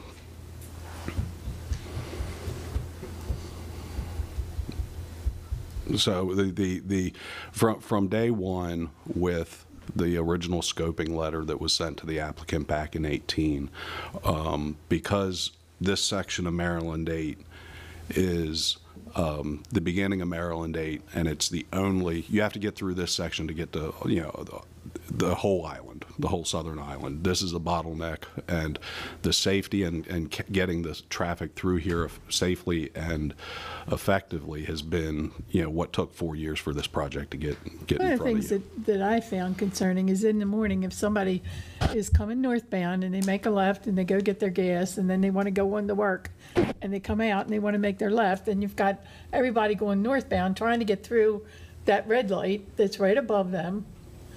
Um, And, and don't Left get me turn- left wrong, I turns mean, I think Royal Farms is a awesome corporation and an asset to Maryland. But I'm really concerned about the safety issues. The, the left turn out in the morning, you know, is certainly the, the, the, probably the movement that raised the most concern. As you're crossing a bike lane, accel, decel lane, a southbound lane, then the left-hand turning lane to get into the property, and the northbound lane, which is coming out of 40. And trust me, very few cars do 40 going northbound once they get out of that stretch in- front of the schools. So, so we've, we've worked for years, like, like it's been represented, re- looked at several different traffic patterns, feel this traffic pattern is the one, you know, the, the, um, um, the, the best to bring before the planning commission at, at, at this point. At will, and um, as the applicant represented, you know, if the project moves forward, we're going to continue to look at traffic, continue to look at changes in background and changes in traffic volumes along that corridor, um, and update traffic studies as, as it, um, a- as a project progresses, so. Any- Any more questions for these? Just- Madam Chair, um, so but prior to these meetings, the Planning Commission members are given materials ahead- over a week ahead of time to study and to look and to familiarize ourselves. So if the a memorandum, a summation memorandum was always given to us from the planning staff, which is, it's always great. So I'm reading here a conclusion from, this is from the planning staff, that no agencies that have reviewed this concept plan have offered object, objection to its approval. So am I hearing objection to its approval, or I'm, I'm confused um, from what I dealt into here. So I guess I'm, I'm just trying to clarify, we are dependent upon, of course, the expertise and the um, experience of the planning staff um, and, and all the other components, and, and you gentlemen included. So I want to make sure that that statement still stands. We don't object to your approval. We're here to answer questions. We felt that it was important for this applicant who has been through multiple iterations, multiple submittals, to have an opportunity to present in front of you and to have uh, the public have a chance, an opportunity to express their support or concerns on the project. So um, to answer your question, if we are in support of the project or not, that's not the issue necessarily for us. They've met the minimum standards to get to the concept level. And, and as a result, we don't offer support and we don't deny support. We just feel that they've met the requirements for concept. Thank you. Any other questions? Okay, um, I think we have to have public comment. In regards to that, before we get into public comment, Amy, it's my understanding we have like over 100 emails, and we have no, yeah, we're for it in that 100? Correct. Uh, We have received close to 100 emails, maybe more. Um, Probably they're still coming in. They were coming uh, in to staff and the public comment site this morning and while the meeting was beginning. I have not seen any comments in support. Um, I think the comments can be generally summarized as uh, having concerns that have been expressed uh, by staff relative to um, safety, relative to the location of the site and the proximity to other uses where there are perceived conflicts with the daycare center and um, some other um, egress and uh, ingress concerns uh, from this site and from those intersections at other sites. Um, the comments that we've received have all been collected in both an electronic file and um, a physical paper file that are available for review um, by the public and by uh, the Planning Commission. The Planning Commission doesn't have the ability to receive messages in real time. So I think it's fair to say that um, we can ask um, staff to summarize a collective um, number of comments that have received. Can you, can we do that? Can you give us a number in the public comment? Um, How many mhm. that we received? Mhm. Yeah. Okay, I think we can give you the number of comments and then ask for anyone who, I know there are several um, citizens online who wish to make comment and citizens who have um, come to the meeting today to make those comments. Mhm. Uh, For public comment, Dennis Leahy?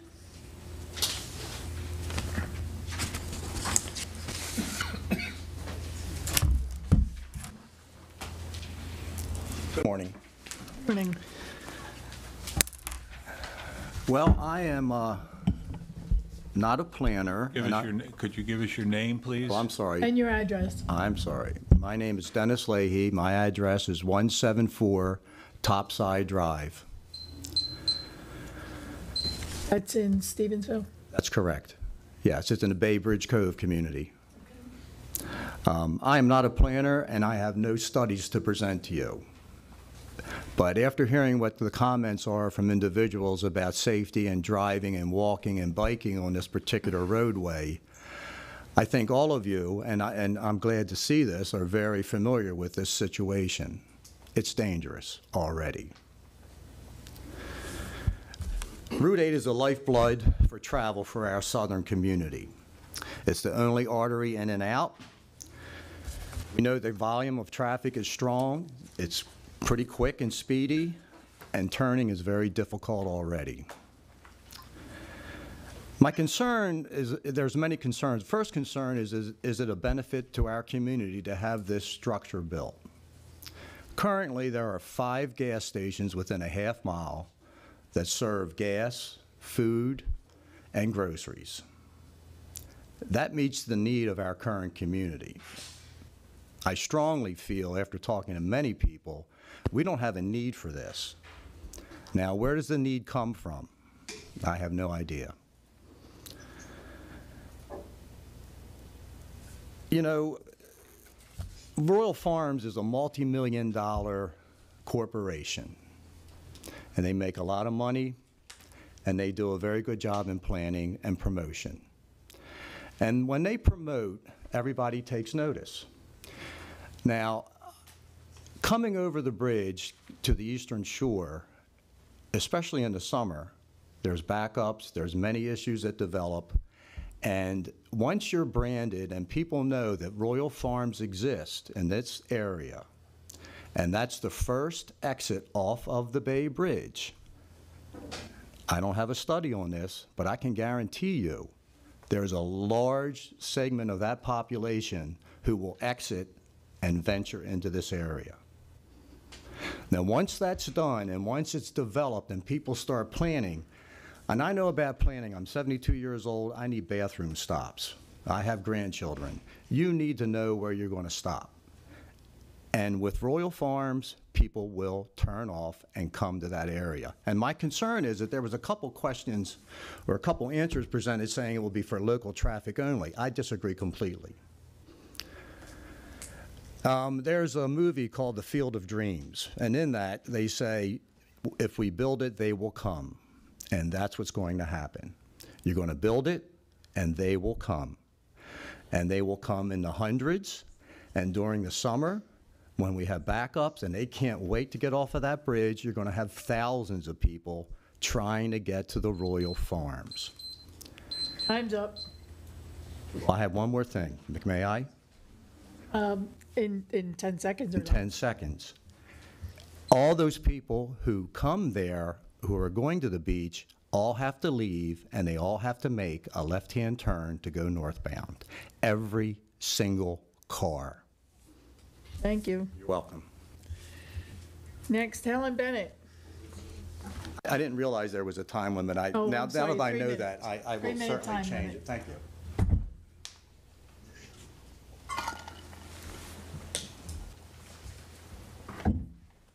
Good morning, Helen Bennett. I live on Kent Island. I had a lot written down, but after listening to the developers, um, I changed a little bit of what I was going to say.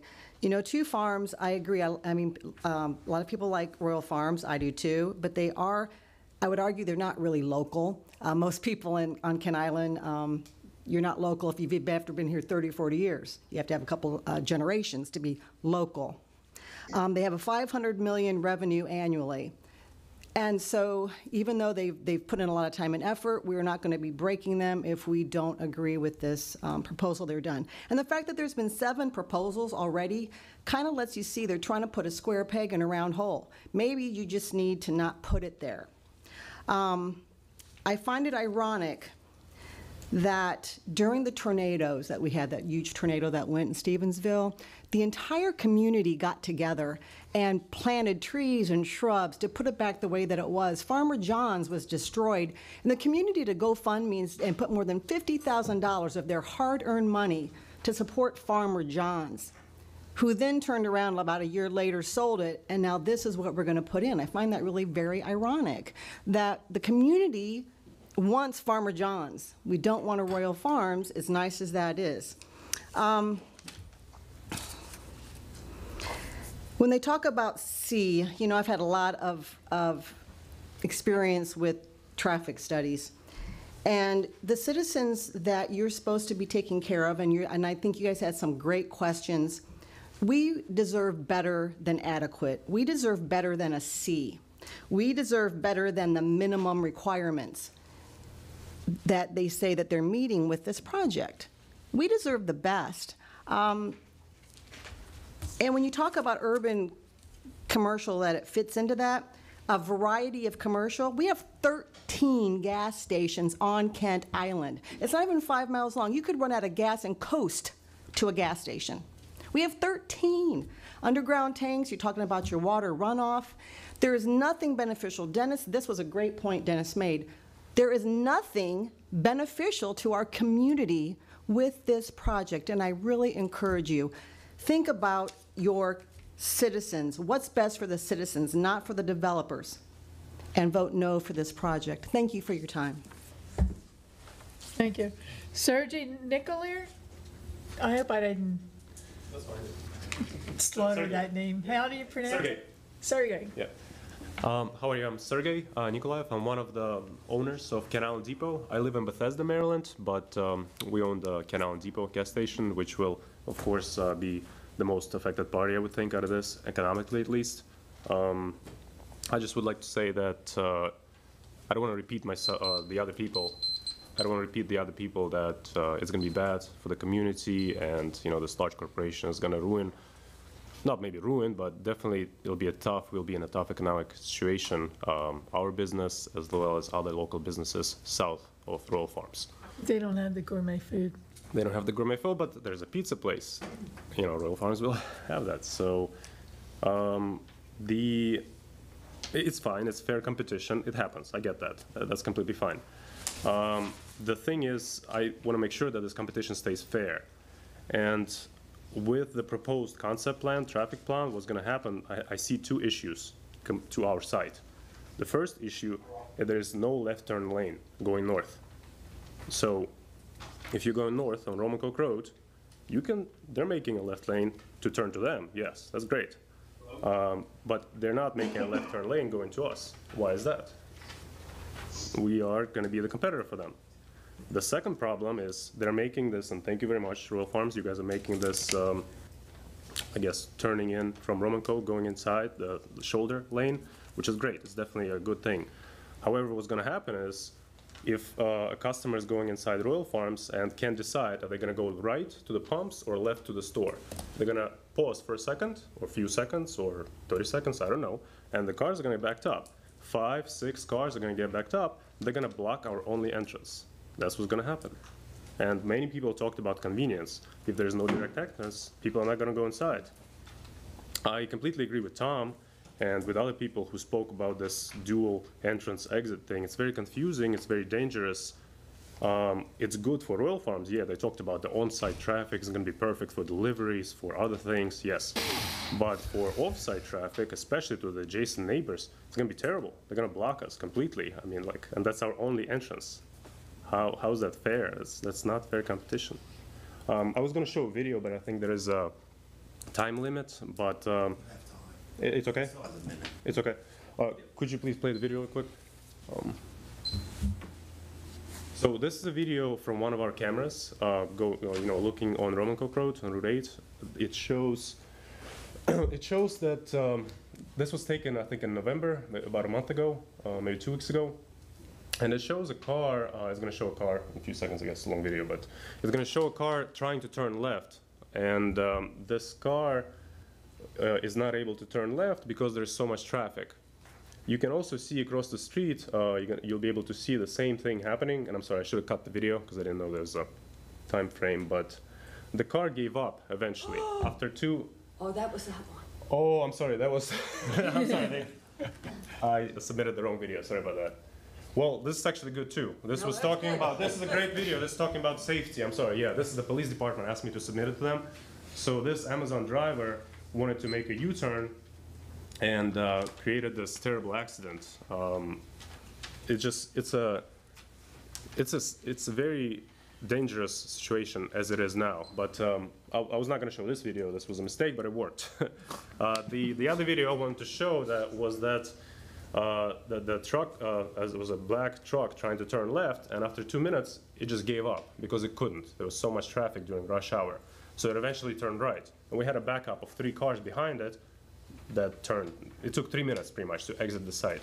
So all these conditions, um, they're making good things entering the site, but exiting the site, they're not talking about them at all. Plus all the traffic studies that were done, they're not in the summer.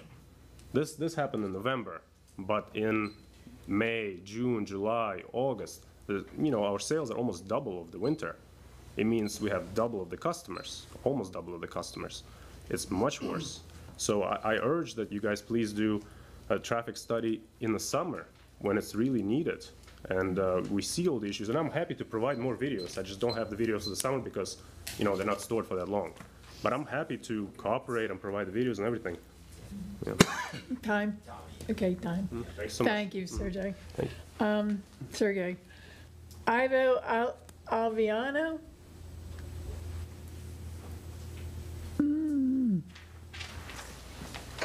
No? Okay. Uh, Suzanne Smith? Smythe? I'm Suzanne Smythe, and I live in BB's BBC. It's the 55 and above community, straight across from where this is going to be um, maybe built. I didn't know there was a three-minute time frame, because then I would have totally have done my notes different. So a lot of the stuff that I was going to cover has been covered, so it'd be just repeating uh, that. But I sit right there on the corner at the entrance of Kent Manor. Uh, I'm the one unit sitting right by the pond, so I'm looking right at BP, the airport. Right next to us, um, McKee has been granted that that land use is going to be turned to commercial use too, and it was approved. So that's going to be added access right there in that same very dangerous area. Living there, I don't dare, I would not cross the street on a bike. And I grew up in Denmark. I think I rode my bike before I walked. So I am very uh, good on a bike, but doing that, going over that way where they say they are going to put that bike lane, I would not use it because I would be afraid. Um, Right now, there's so much noise in that area. I have some videos that I took at 3 o'clock in this morning, and you can hear the highway, you can hear cars coming by. Um, To start with, too, um, drainage in BBC is awful. Many houses have their crawl space flooded. So if you're going to put this big uh, development right across from us, and you put a big piece of um, concrete or whatever, asphalt, we all know what that does to, that just creates, where's all that water going to go? Uh, And two, if there is, say, an accident with one of their pumps and all of that leaks in the ground, that's another. And two, right now, where I live, I can hear the traffic inside my house. We add this, I'm going to really be hearing lots of traffic all the time. Um, There's a comment on Facebook from another resident that lives right next to a a Royal Farm in Queenstown, and this was his comment. And he said, "I wouldn't wish any of these issues on anybody." He says he has noise, people yelling, diesel fuel, idling trucks all night, trash, people urinating outside, grass cutting starting at 6:30 in the morning, bang dumpsters. And he said he has tried to address all these issues to no avail. Uh, And I live kitty corner from that. On the map where there is four triplexes right across from where BP is going to be built, they already are having nightmare issues because they can hear all the traffic. They're even, okay, Thank you, Suzanne. thank you. Joshua Willis?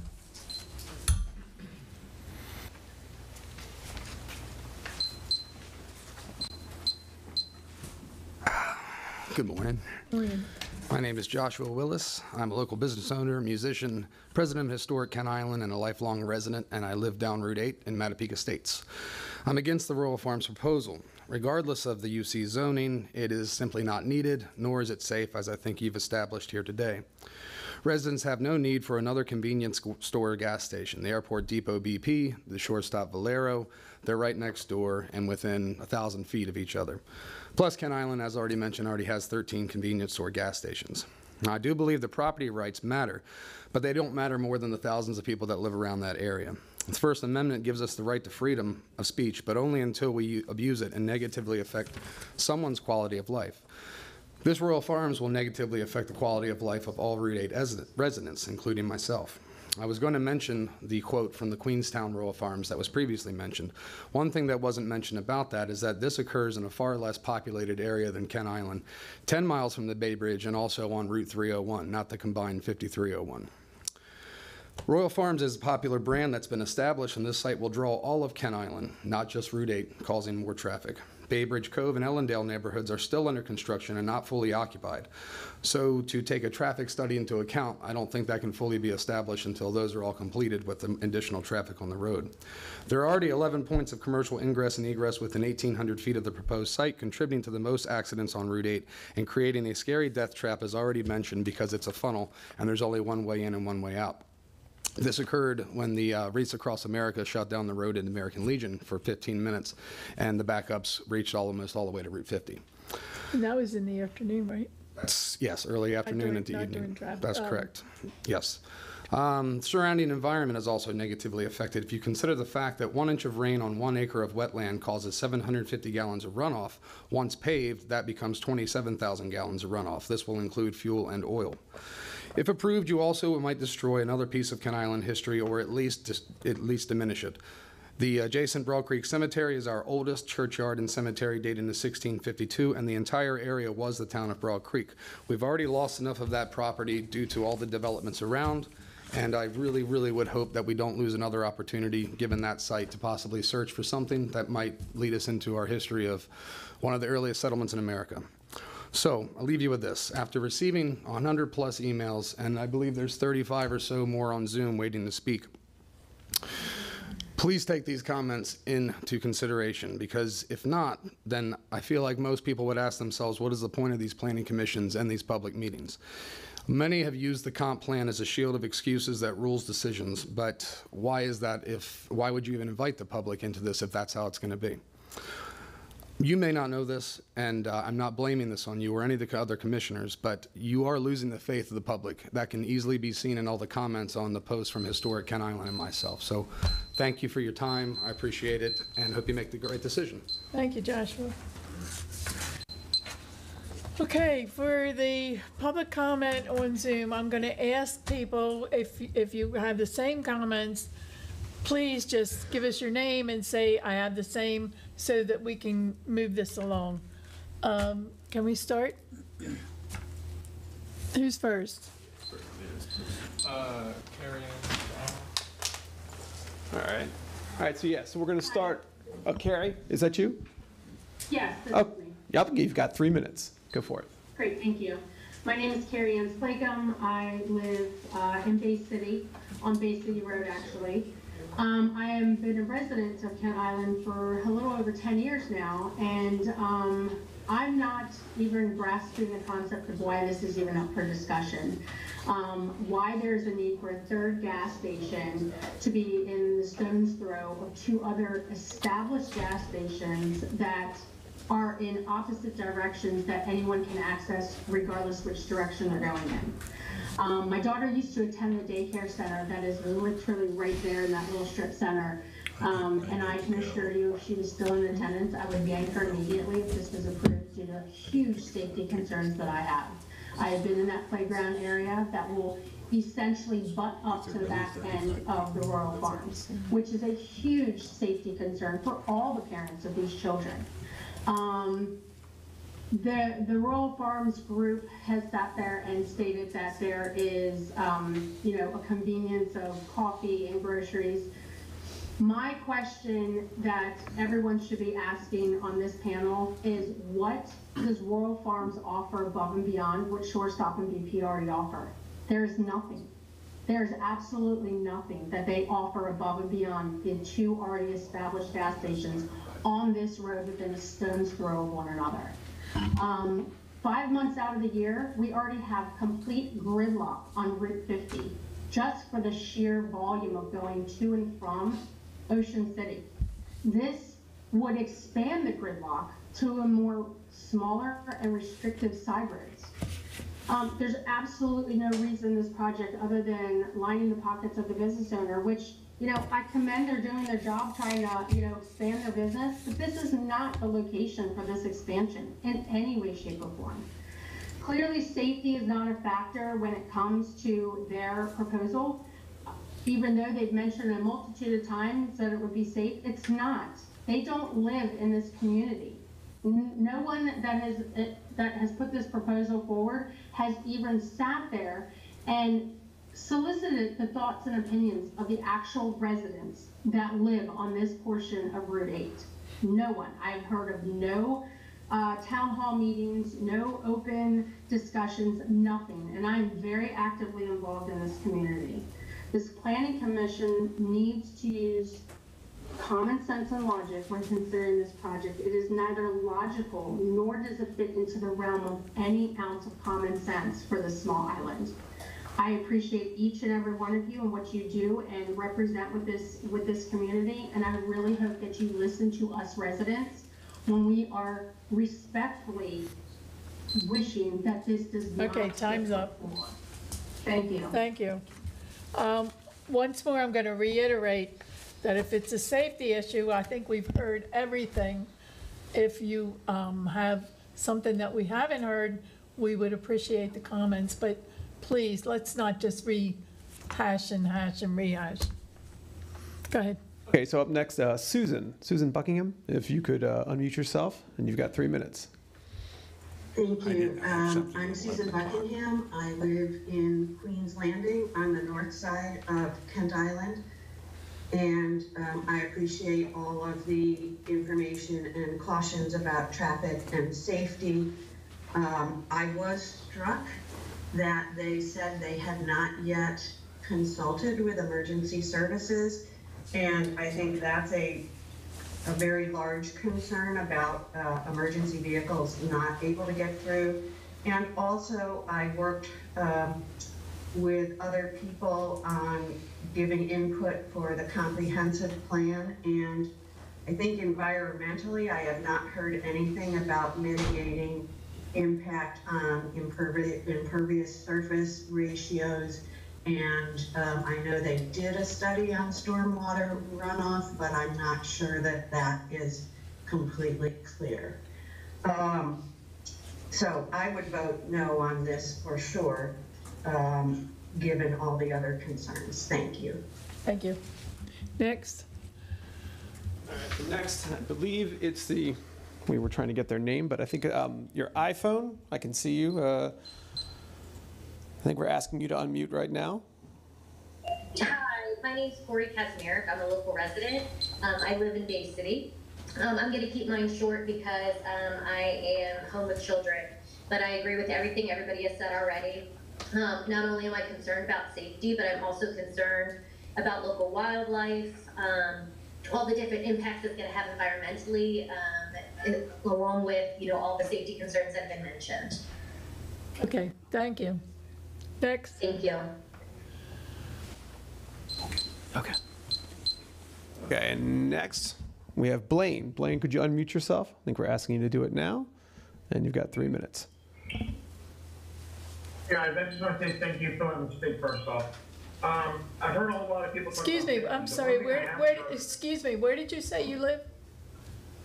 Hey, Timmy, Where? you heard from my wife Bay City. earlier. Oh, Bay City, okay, Yes, ma'am. okay. Sorry, the one, one thing I wanted to say is, keep, people keep bringing up safety concerns. I haven't heard the impact that's gonna be on crime. You bring people, you bring crime. Police are already spread thin as it is. We're in a pretty big county. I don't understand why we even want to put Royal Farms within the gas stations as it is. The other concern I have is the fact that you did not talk to EMS or fire. We all know Eastern Shore has home response. If you backlog traffic, the home response people will not be able to get to the station and get the pieces out to help people that are in need. It's a big concern for me. I'm a former firefighter and EMS responder, so I know what it's like. And it's very concerning. The Route 8 is already gridlocked as it is with one little accident, we're shut down for a minute, a half hour, 45 minutes to an hour, depending on where you live. It's a big concern. Quite honestly, I haven't heard one positive thing from any resident in town about this proposal. Thank you. Thank you. Next. All right, and the last that we have, um, Jenna. Jenna, we're asking you to unmute. Jenna, go ahead. You've got three. Uh, yeah, go ahead and unmute yourself. There you are. Okay, you've got. My name is Jenna Lentz. I live in Bay City on Bay City Road. Um, so I agree with everything that everyone has said so far, and just a few things to add. Um, just last night, um, I was in Bay, I believe it's Bay Bridge Cove, next to Allendale, the new community, and I was at a funeral reception. Uh, the gentleman who was buried happens to be in the um, cemetery that's going to be right behind the proposed new Royal Farm. Um, that's very upsetting um, that the people there are going to have to look at that, but that is your decision. When I was leaving that funeral reception, I was attempting to make a left out of the Bay Bridge Cove um, neighborhood to go to Bay City to my house. I couldn't do it. I sat there for a long time. What I finally did was I turned right. I went to the light that's like by the Target. I made a U-turn and came back down to my house. My biggest concern, I live on Bay City Road, right near the light. Um, the traffic there is already immense. Um, it's very hard for me sometimes to get in and out of my driveway. Uh, when I speak to my fellow residents that live like near Irene, they don't turn left out of Irene. It's too difficult to make the left out of Irene. A ton of residents that all my neighbors have told me that, and that's why they come past my house at the light instead. So, if someone is sitting at Royal Farms and can't make that left, what are they going to do? They're going to do the same thing that I did last night. They're going to make a right. They're going to turn into Irene Way. They're going to go across Victoria onto Bay City Road so they can make that left. Or they're going to go to the light and turn into Matapeake School District and make a U-turn and come back down Route 8.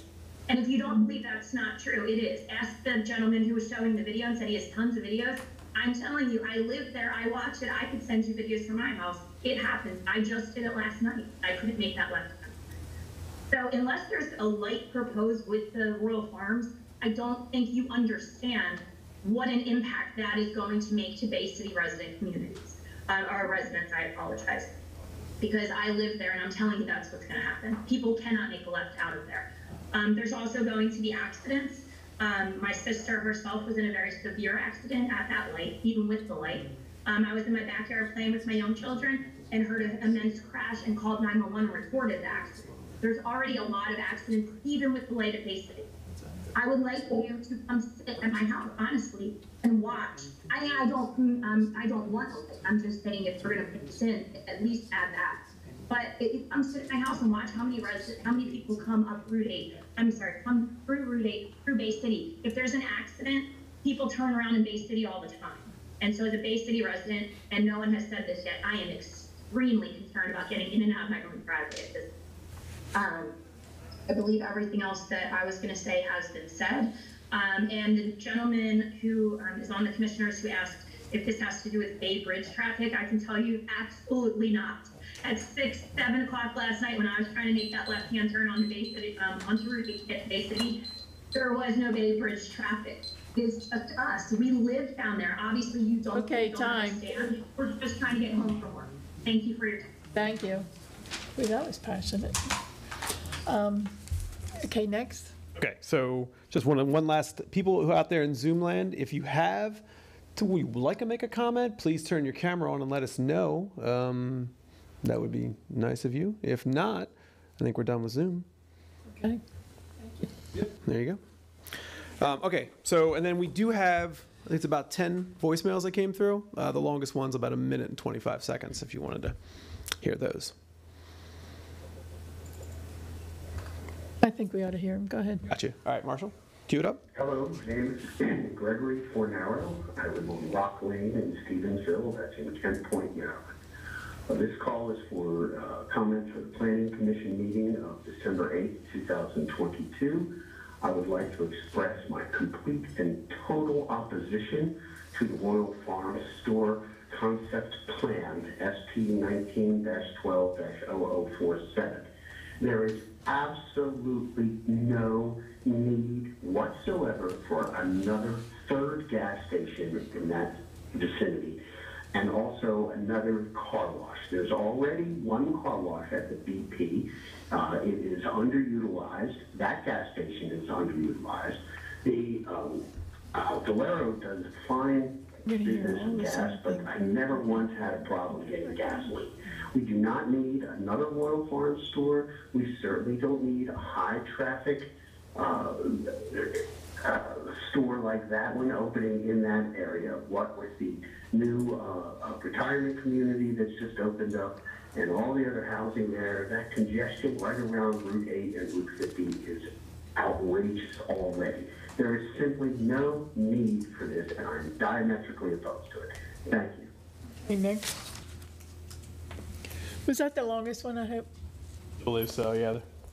It's like one twenty. Hello, my name is Catherine Rogers. This is for meeting Royal Farms Concept Plan SP number 19-12-0047, proposal on December 8th.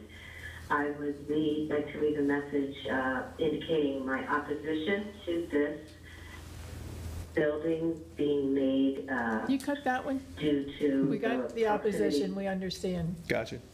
Marshall, next. This message is for the Planning Commission. My name is Tara Mitchell. I live in Bay City in Stevensville, Maryland. I don't appreciate another convenience or gas station being put on Kent Island. We have several. And to put it next to something. In opposition again, let's, next one. Next, Marshall.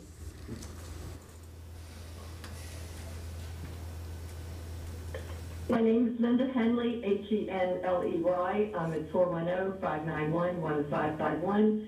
I'm calling to um, go on record that I am against the Royal Farms Concept Plan, SP number Next. 19-12-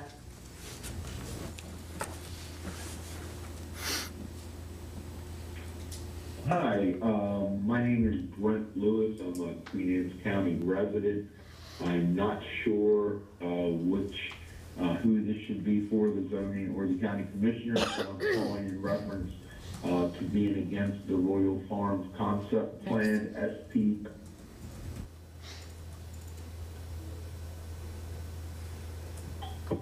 Hi, my name is Kenton Kilgore. I live in Bay City, and I was calling to voice my opposition to the Royal Farms that's proposed to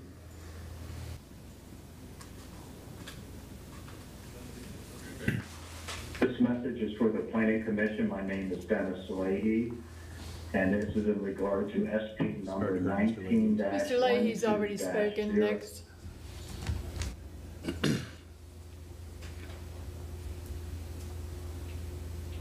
My name is Jennifer Branzel. This is for the county commissioners regarding the Royal Farms Concept Plan, SP number 19-12-0047. I am calling to urge you to please vote against this horrific. Next.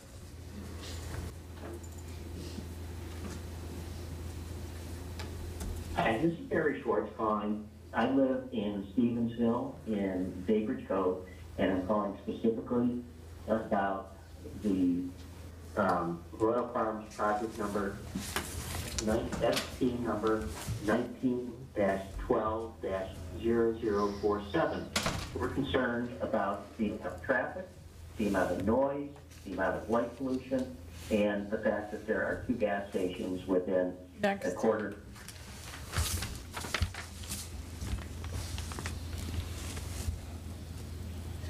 Hi, this is Merle Schwartz, and I am calling, uh, this message is, is for the county commissioners. I believe, uh, might also be for the planning board. I'm calling in regards to the Royal Farms concept plan. Um, and I want to voice my concern. I don't want to see it going on, on Romancoke. I live on Yep, should be the last one. Okay.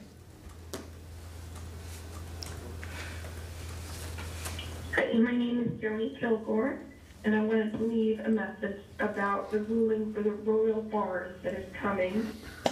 I live in Bay City, and I just want to make record of the comment that I don't think we need a Royal Farm. Next. The traffic, That's all. Okay, so that's all of our voicemails. And then as for the emails, um, at a count, it's like a rough count, but it's about um, 89 that I have. Um, about six of them were a form letter, which were people just signed onto, almost like a petition. The only one that kind of stood out, other than what you were saying about how uh, the comments have already been made today, all these emails have basically speaking to a variation of it in like different lengths. I think the only one that stands out a little bit different that I saw was this one, so I'd like to read this one. It's pretty short. Um, this one is from Jody Schultz, president of the Kent Island Volunteer Fire Department. Uh, he said, "We have requested to meet with the developer slash owner of the project per QAC Ordinance um, 08-07 attached. We are optimistic that Royal Farms will be receptive to meet, but as this email, we have not heard back. I ask that the Planning Commission please consider this and the extreme importance of CO 08-07 to our volunteer fire department, and then if the Royal Farms Administrative Subdivision slash Concept Plan is approved, that a condition of approval is that they are required to adhere to CO 08-07. Thank you for your consideration. But that's about it. Hmm. One more. On Zoom. Oh, we- it looks like we have someone that popped up on Zoom real quick. Okay. Check that. All right. Go go ahead, iPhone. We're asking you to unmute yourself, and you have three minutes. And please introduce yourself. Hi there. I had to jump on a different meeting, but I just wanted to make sure my children attend the daycare um, right next door to this proposed plan. I just want to speak, I guess, to the safety associated.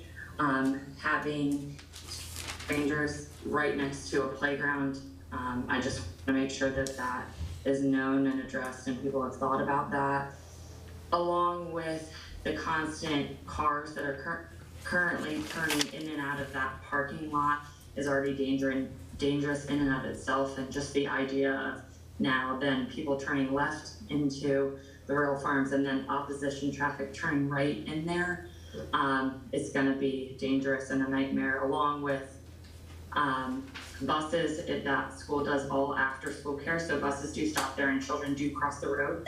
Um, I just want to make sure that that's addressed.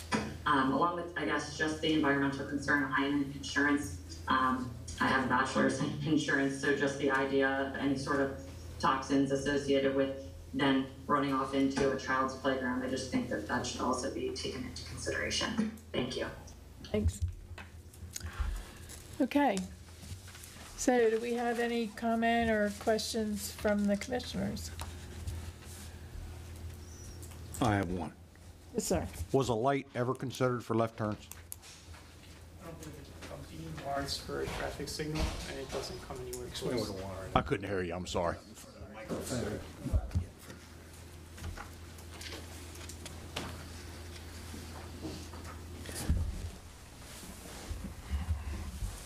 Kyle Schmid, Traffic Concepts. So in order to put in a traffic signal, you meet, need to meet traffic signal warrant analysis, and there's, I believe, 10 or 11 conditions. Most of them are volume related, some are um, high accident location, different variables go into meeting uh, for a traffic signal warrant. You And- have one a block away? Because that's I mean, distance far it is offsets. the. Yeah, no, and the there's, right, there's, uh, there's, I mean, there's recommended offsets between traffic signals as far as distance goes. Um, that usually engineering judgment comes into play a lot of times with that because obviously if you're in a downtown city atmosphere or rural atmosphere, it impacts the distance that traffic signals are spaced. Um, but in this condition, the, the traffic exiting Royal Farms and going in, it wouldn't come nowhere close to meeting volume warrants to input a traffic signal here. So it wouldn't be able to be installed. Okay. I would like to make one point of clarification on the emergency services. The plan was reviewed at each stage, each, con- each rendition of the plans was sent to the, emer- sent to the Emergency Services Department of the county and was reviewed by them and was also sent to the fire departments. The issue in regards to the, Mr. Schultz's email and my conversation with him all goes to do with, provi- with a, um, with a a private developer agreeing during the development review process to provide ongoing funding for the volunteer fire department. It has nothing to do with, with a, a- review of the safety or the layout or anything of that nature. It just purely has to do with us getting together and saying, yeah, Royal Farm's going to provide so much funding to the fire department, either as one-time contribution or as an annual contribution. That's, that's all that that went to.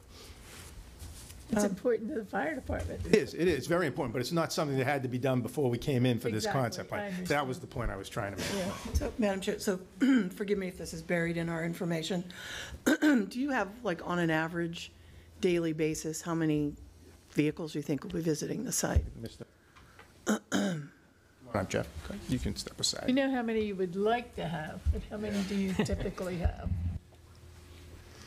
Uh, Each store is different. Um, We might have 2,000 customers a day, but that could be different transactions, the same car coming in. Um, So I, I, I don't have a number as to how many actually come in per day.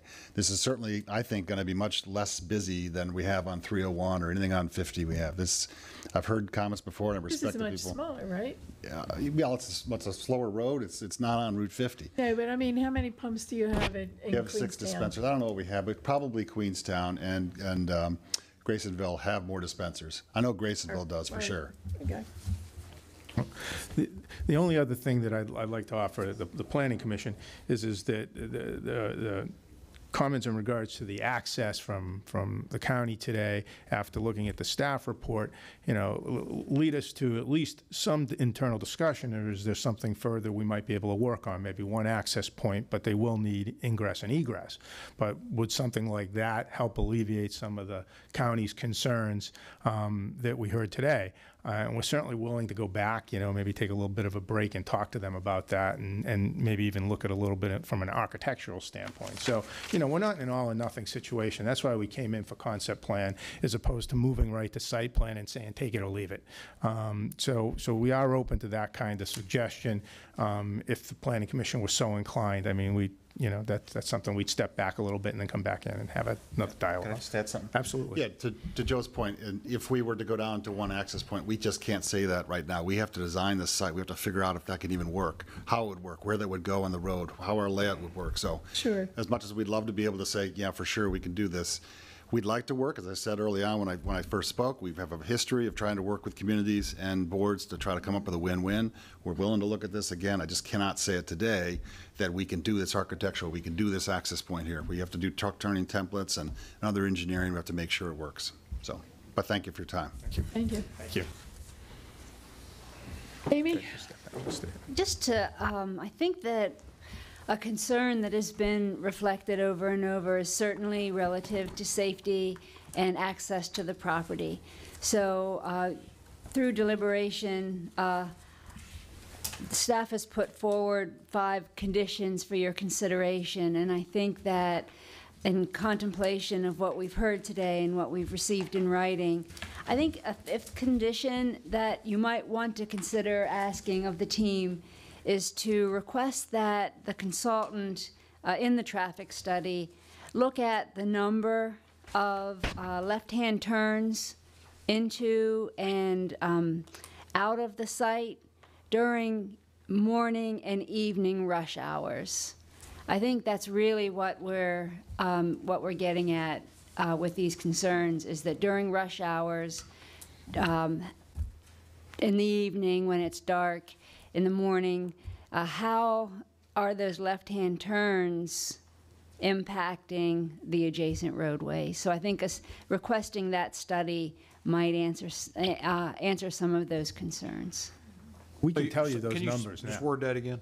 Just I'm re- sorry. require Royal Farms to, to do a study on left-hand turns during rush hour? Mm, we Left-hand need to- turns into and out of the site during morning and evening rush hours. W- w- We have the numbers that are based on the ITE trip generation manual that, you know, Mark can tell you right now if you want to know what they are. I mean, we can do further evaluation, because if we do take a step back and look at this other aspect with it, Jeff and I would- had spoke to, we can certainly give you more of a condensed version of it. But if you want to hear the numbers right now, Mark can give them to you, because they were in every APF study we've done so far.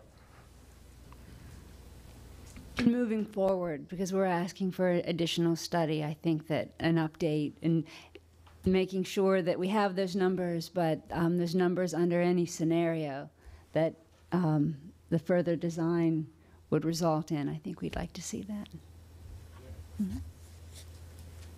Okay, can I get a resolution or a motion? Madam Chair, Uh, May I? Uh, that Planning Commission regarding a request by Two Farms, Inc. for concept plan approval for 5,154 square foot convenience store, six gasoline, fuel islands, 12 fueling positions, and a 1,248 square foot car wash, and is more particularly described in Portland Planning and Zoning File SP 19-12-0047. And based on the overwhelming uh, public support and concerns about traffic safety and welfare, uh, deny the concept plan approval for the file, uh, for the said applicant. Do I have a second?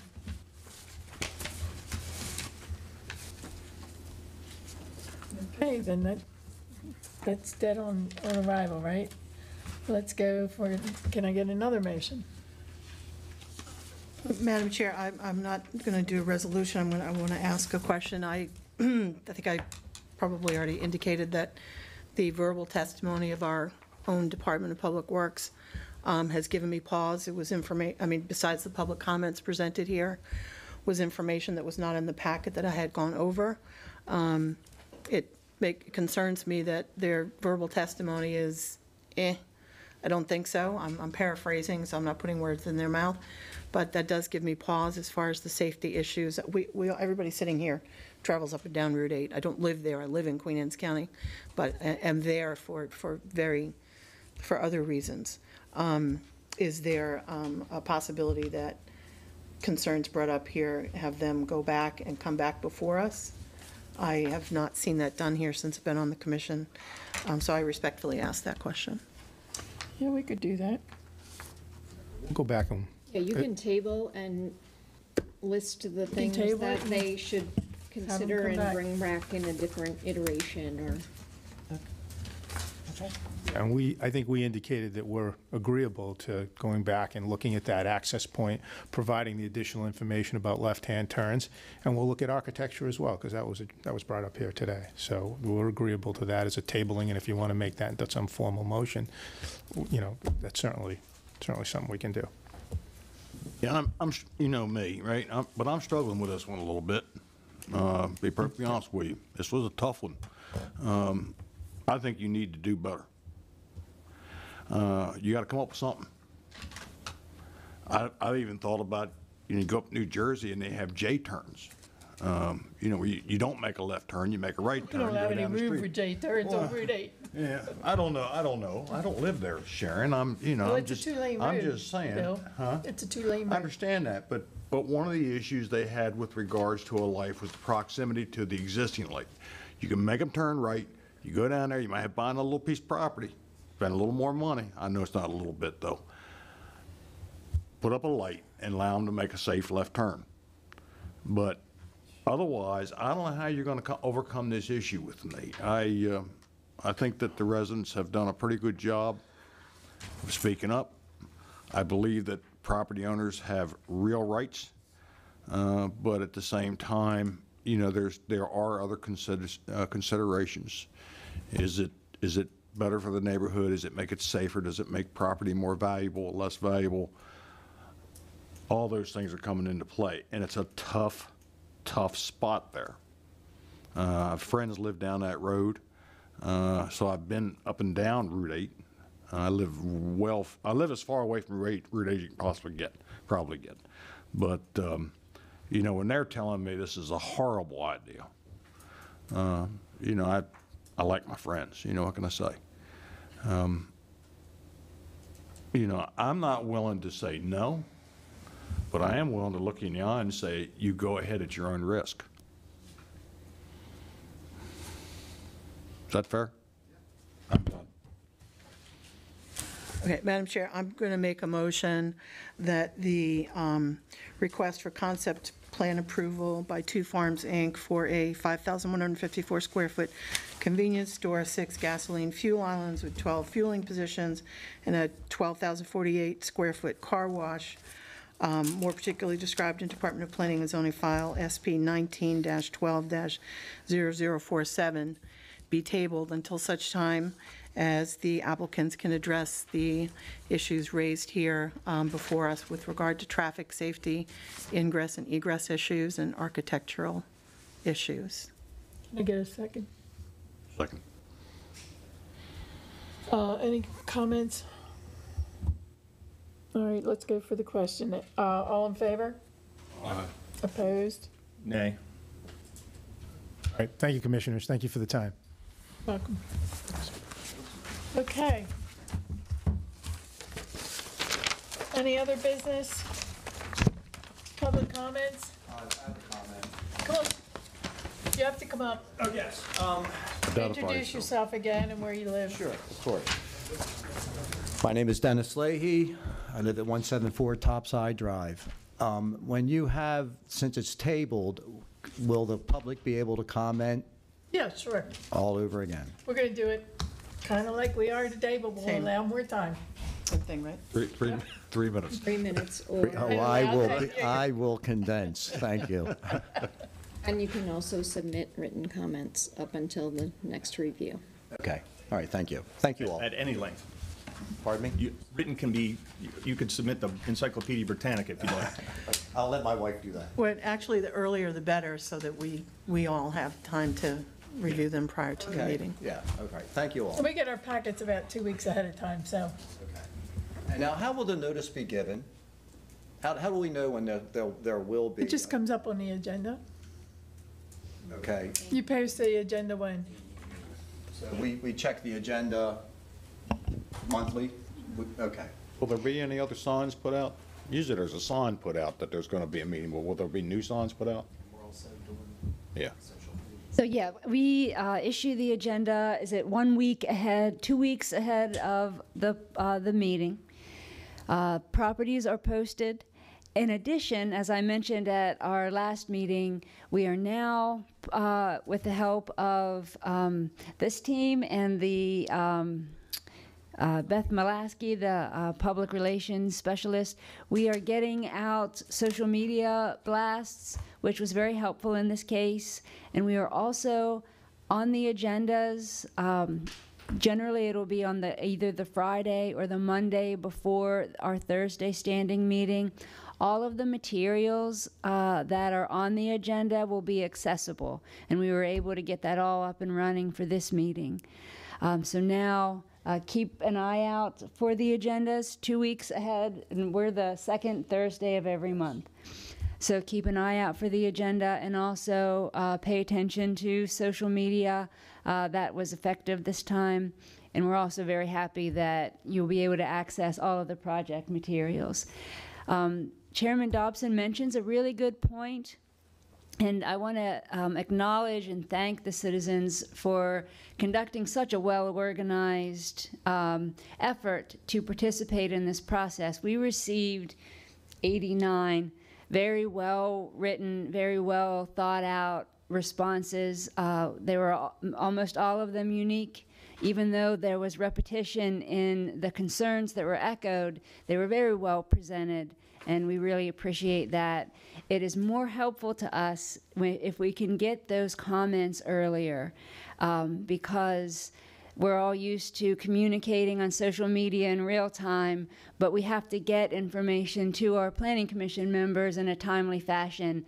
And uh, that usually means a week ahead, we uh, send the packets out, and we are an electronic uh, department and board, so we do push out information, but we like to do it in an organized fashion as a packet, and we really can't do that when uh, when we're getting information the night before a meeting. Uh, that doesn't mean your um, input doesn't go into the record and isn't on file, but it's much harder, especially when there's such a high volume, to get information to our members. So. Thank you. Jay? Trey Porter, DPW. I just want to, uh, to um, remind you that the technical comments that DPW makes are included in the planning and DPW folder, um, as well as state highway comments. There's a lot of technical comments. A lot of your questions can be answered by looking at those comments in terms of um, one ingress, one egress versus one entrance with both um, ingress and egress. You know, things like that. Those are going to be contained in there, and some of those questions could be answered. Um, obviously, in this public forum, we can answer those questions in person, but um, a lot of background information is there. Um, again, both state highway and DPW, and I certainly encourage you to, to take a look at those if you uh, if you're so inclined. Okay, thank you. Thanks, and I'll just thank you, everybody, including your department. You are our Department of Public Works. You know our roads better than anyone, so I, I think, speaking for just a member of this commission, we, we do look at, at, uh, at, at these comments, and, and your opinions matter, so thanks. Matter a lot. Okay, um, I have one other, one other, um, point of business this morning. I was. Sorry, I think she would like to public comment. Or she- Very quick. Yeah. Very quick. Very quick. Just when you said you wanted a study from them with the left and right turns, the beach traffic really wasn't, you know, can we get an estimation of what the beach traffic would be added to that study and not just like, you know, what happens on a daily ma'am. basis? Thank you. So, very quick question as well. Sergey? Uh, Yeah, regarding the same uh, issue, because they uh, commission a private um, traffic study, and I think one of them, I read them, and the uh, direction, the recommendations were, everything is fine now, everything will be fine now, uh, later, please proceed.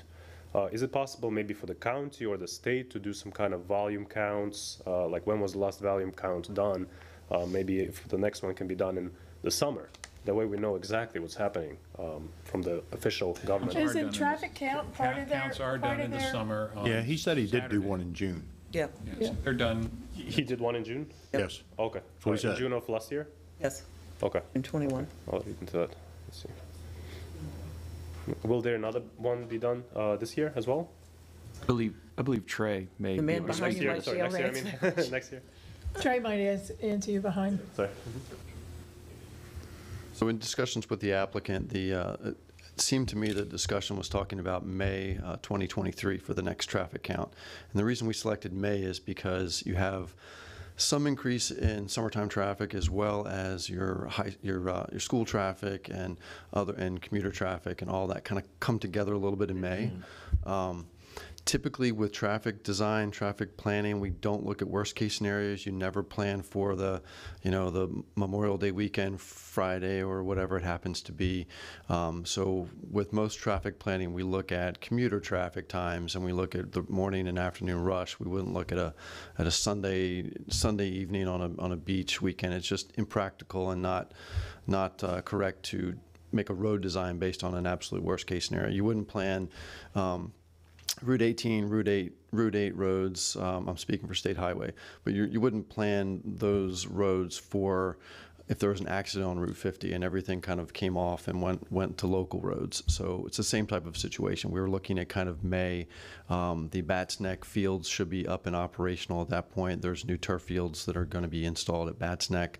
Um, so those fields will have, that's part of the, that's part of the current background.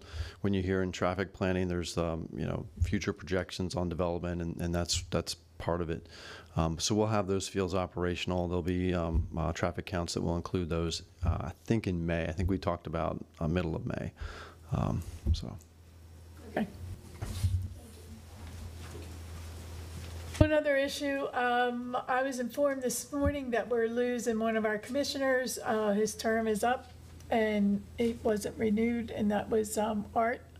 And I just have to say that he was a tremendous asset to this board and, um, he's gonna be missed.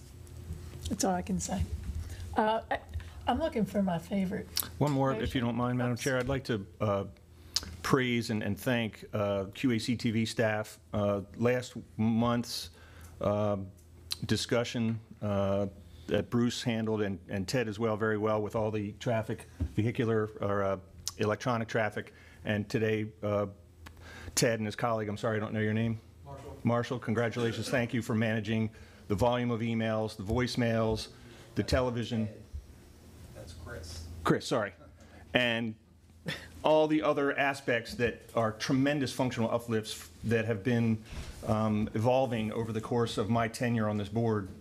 Um, So it's, it's tremendous in, uh, efficiency gainer as well as public access point. So thank you for all you do for allowing that conversation to happen uh, in this forum. Thank Sorry. you. Uh, how about my favorite motion? Madam Chair, motion to adjourn? Second. So moved.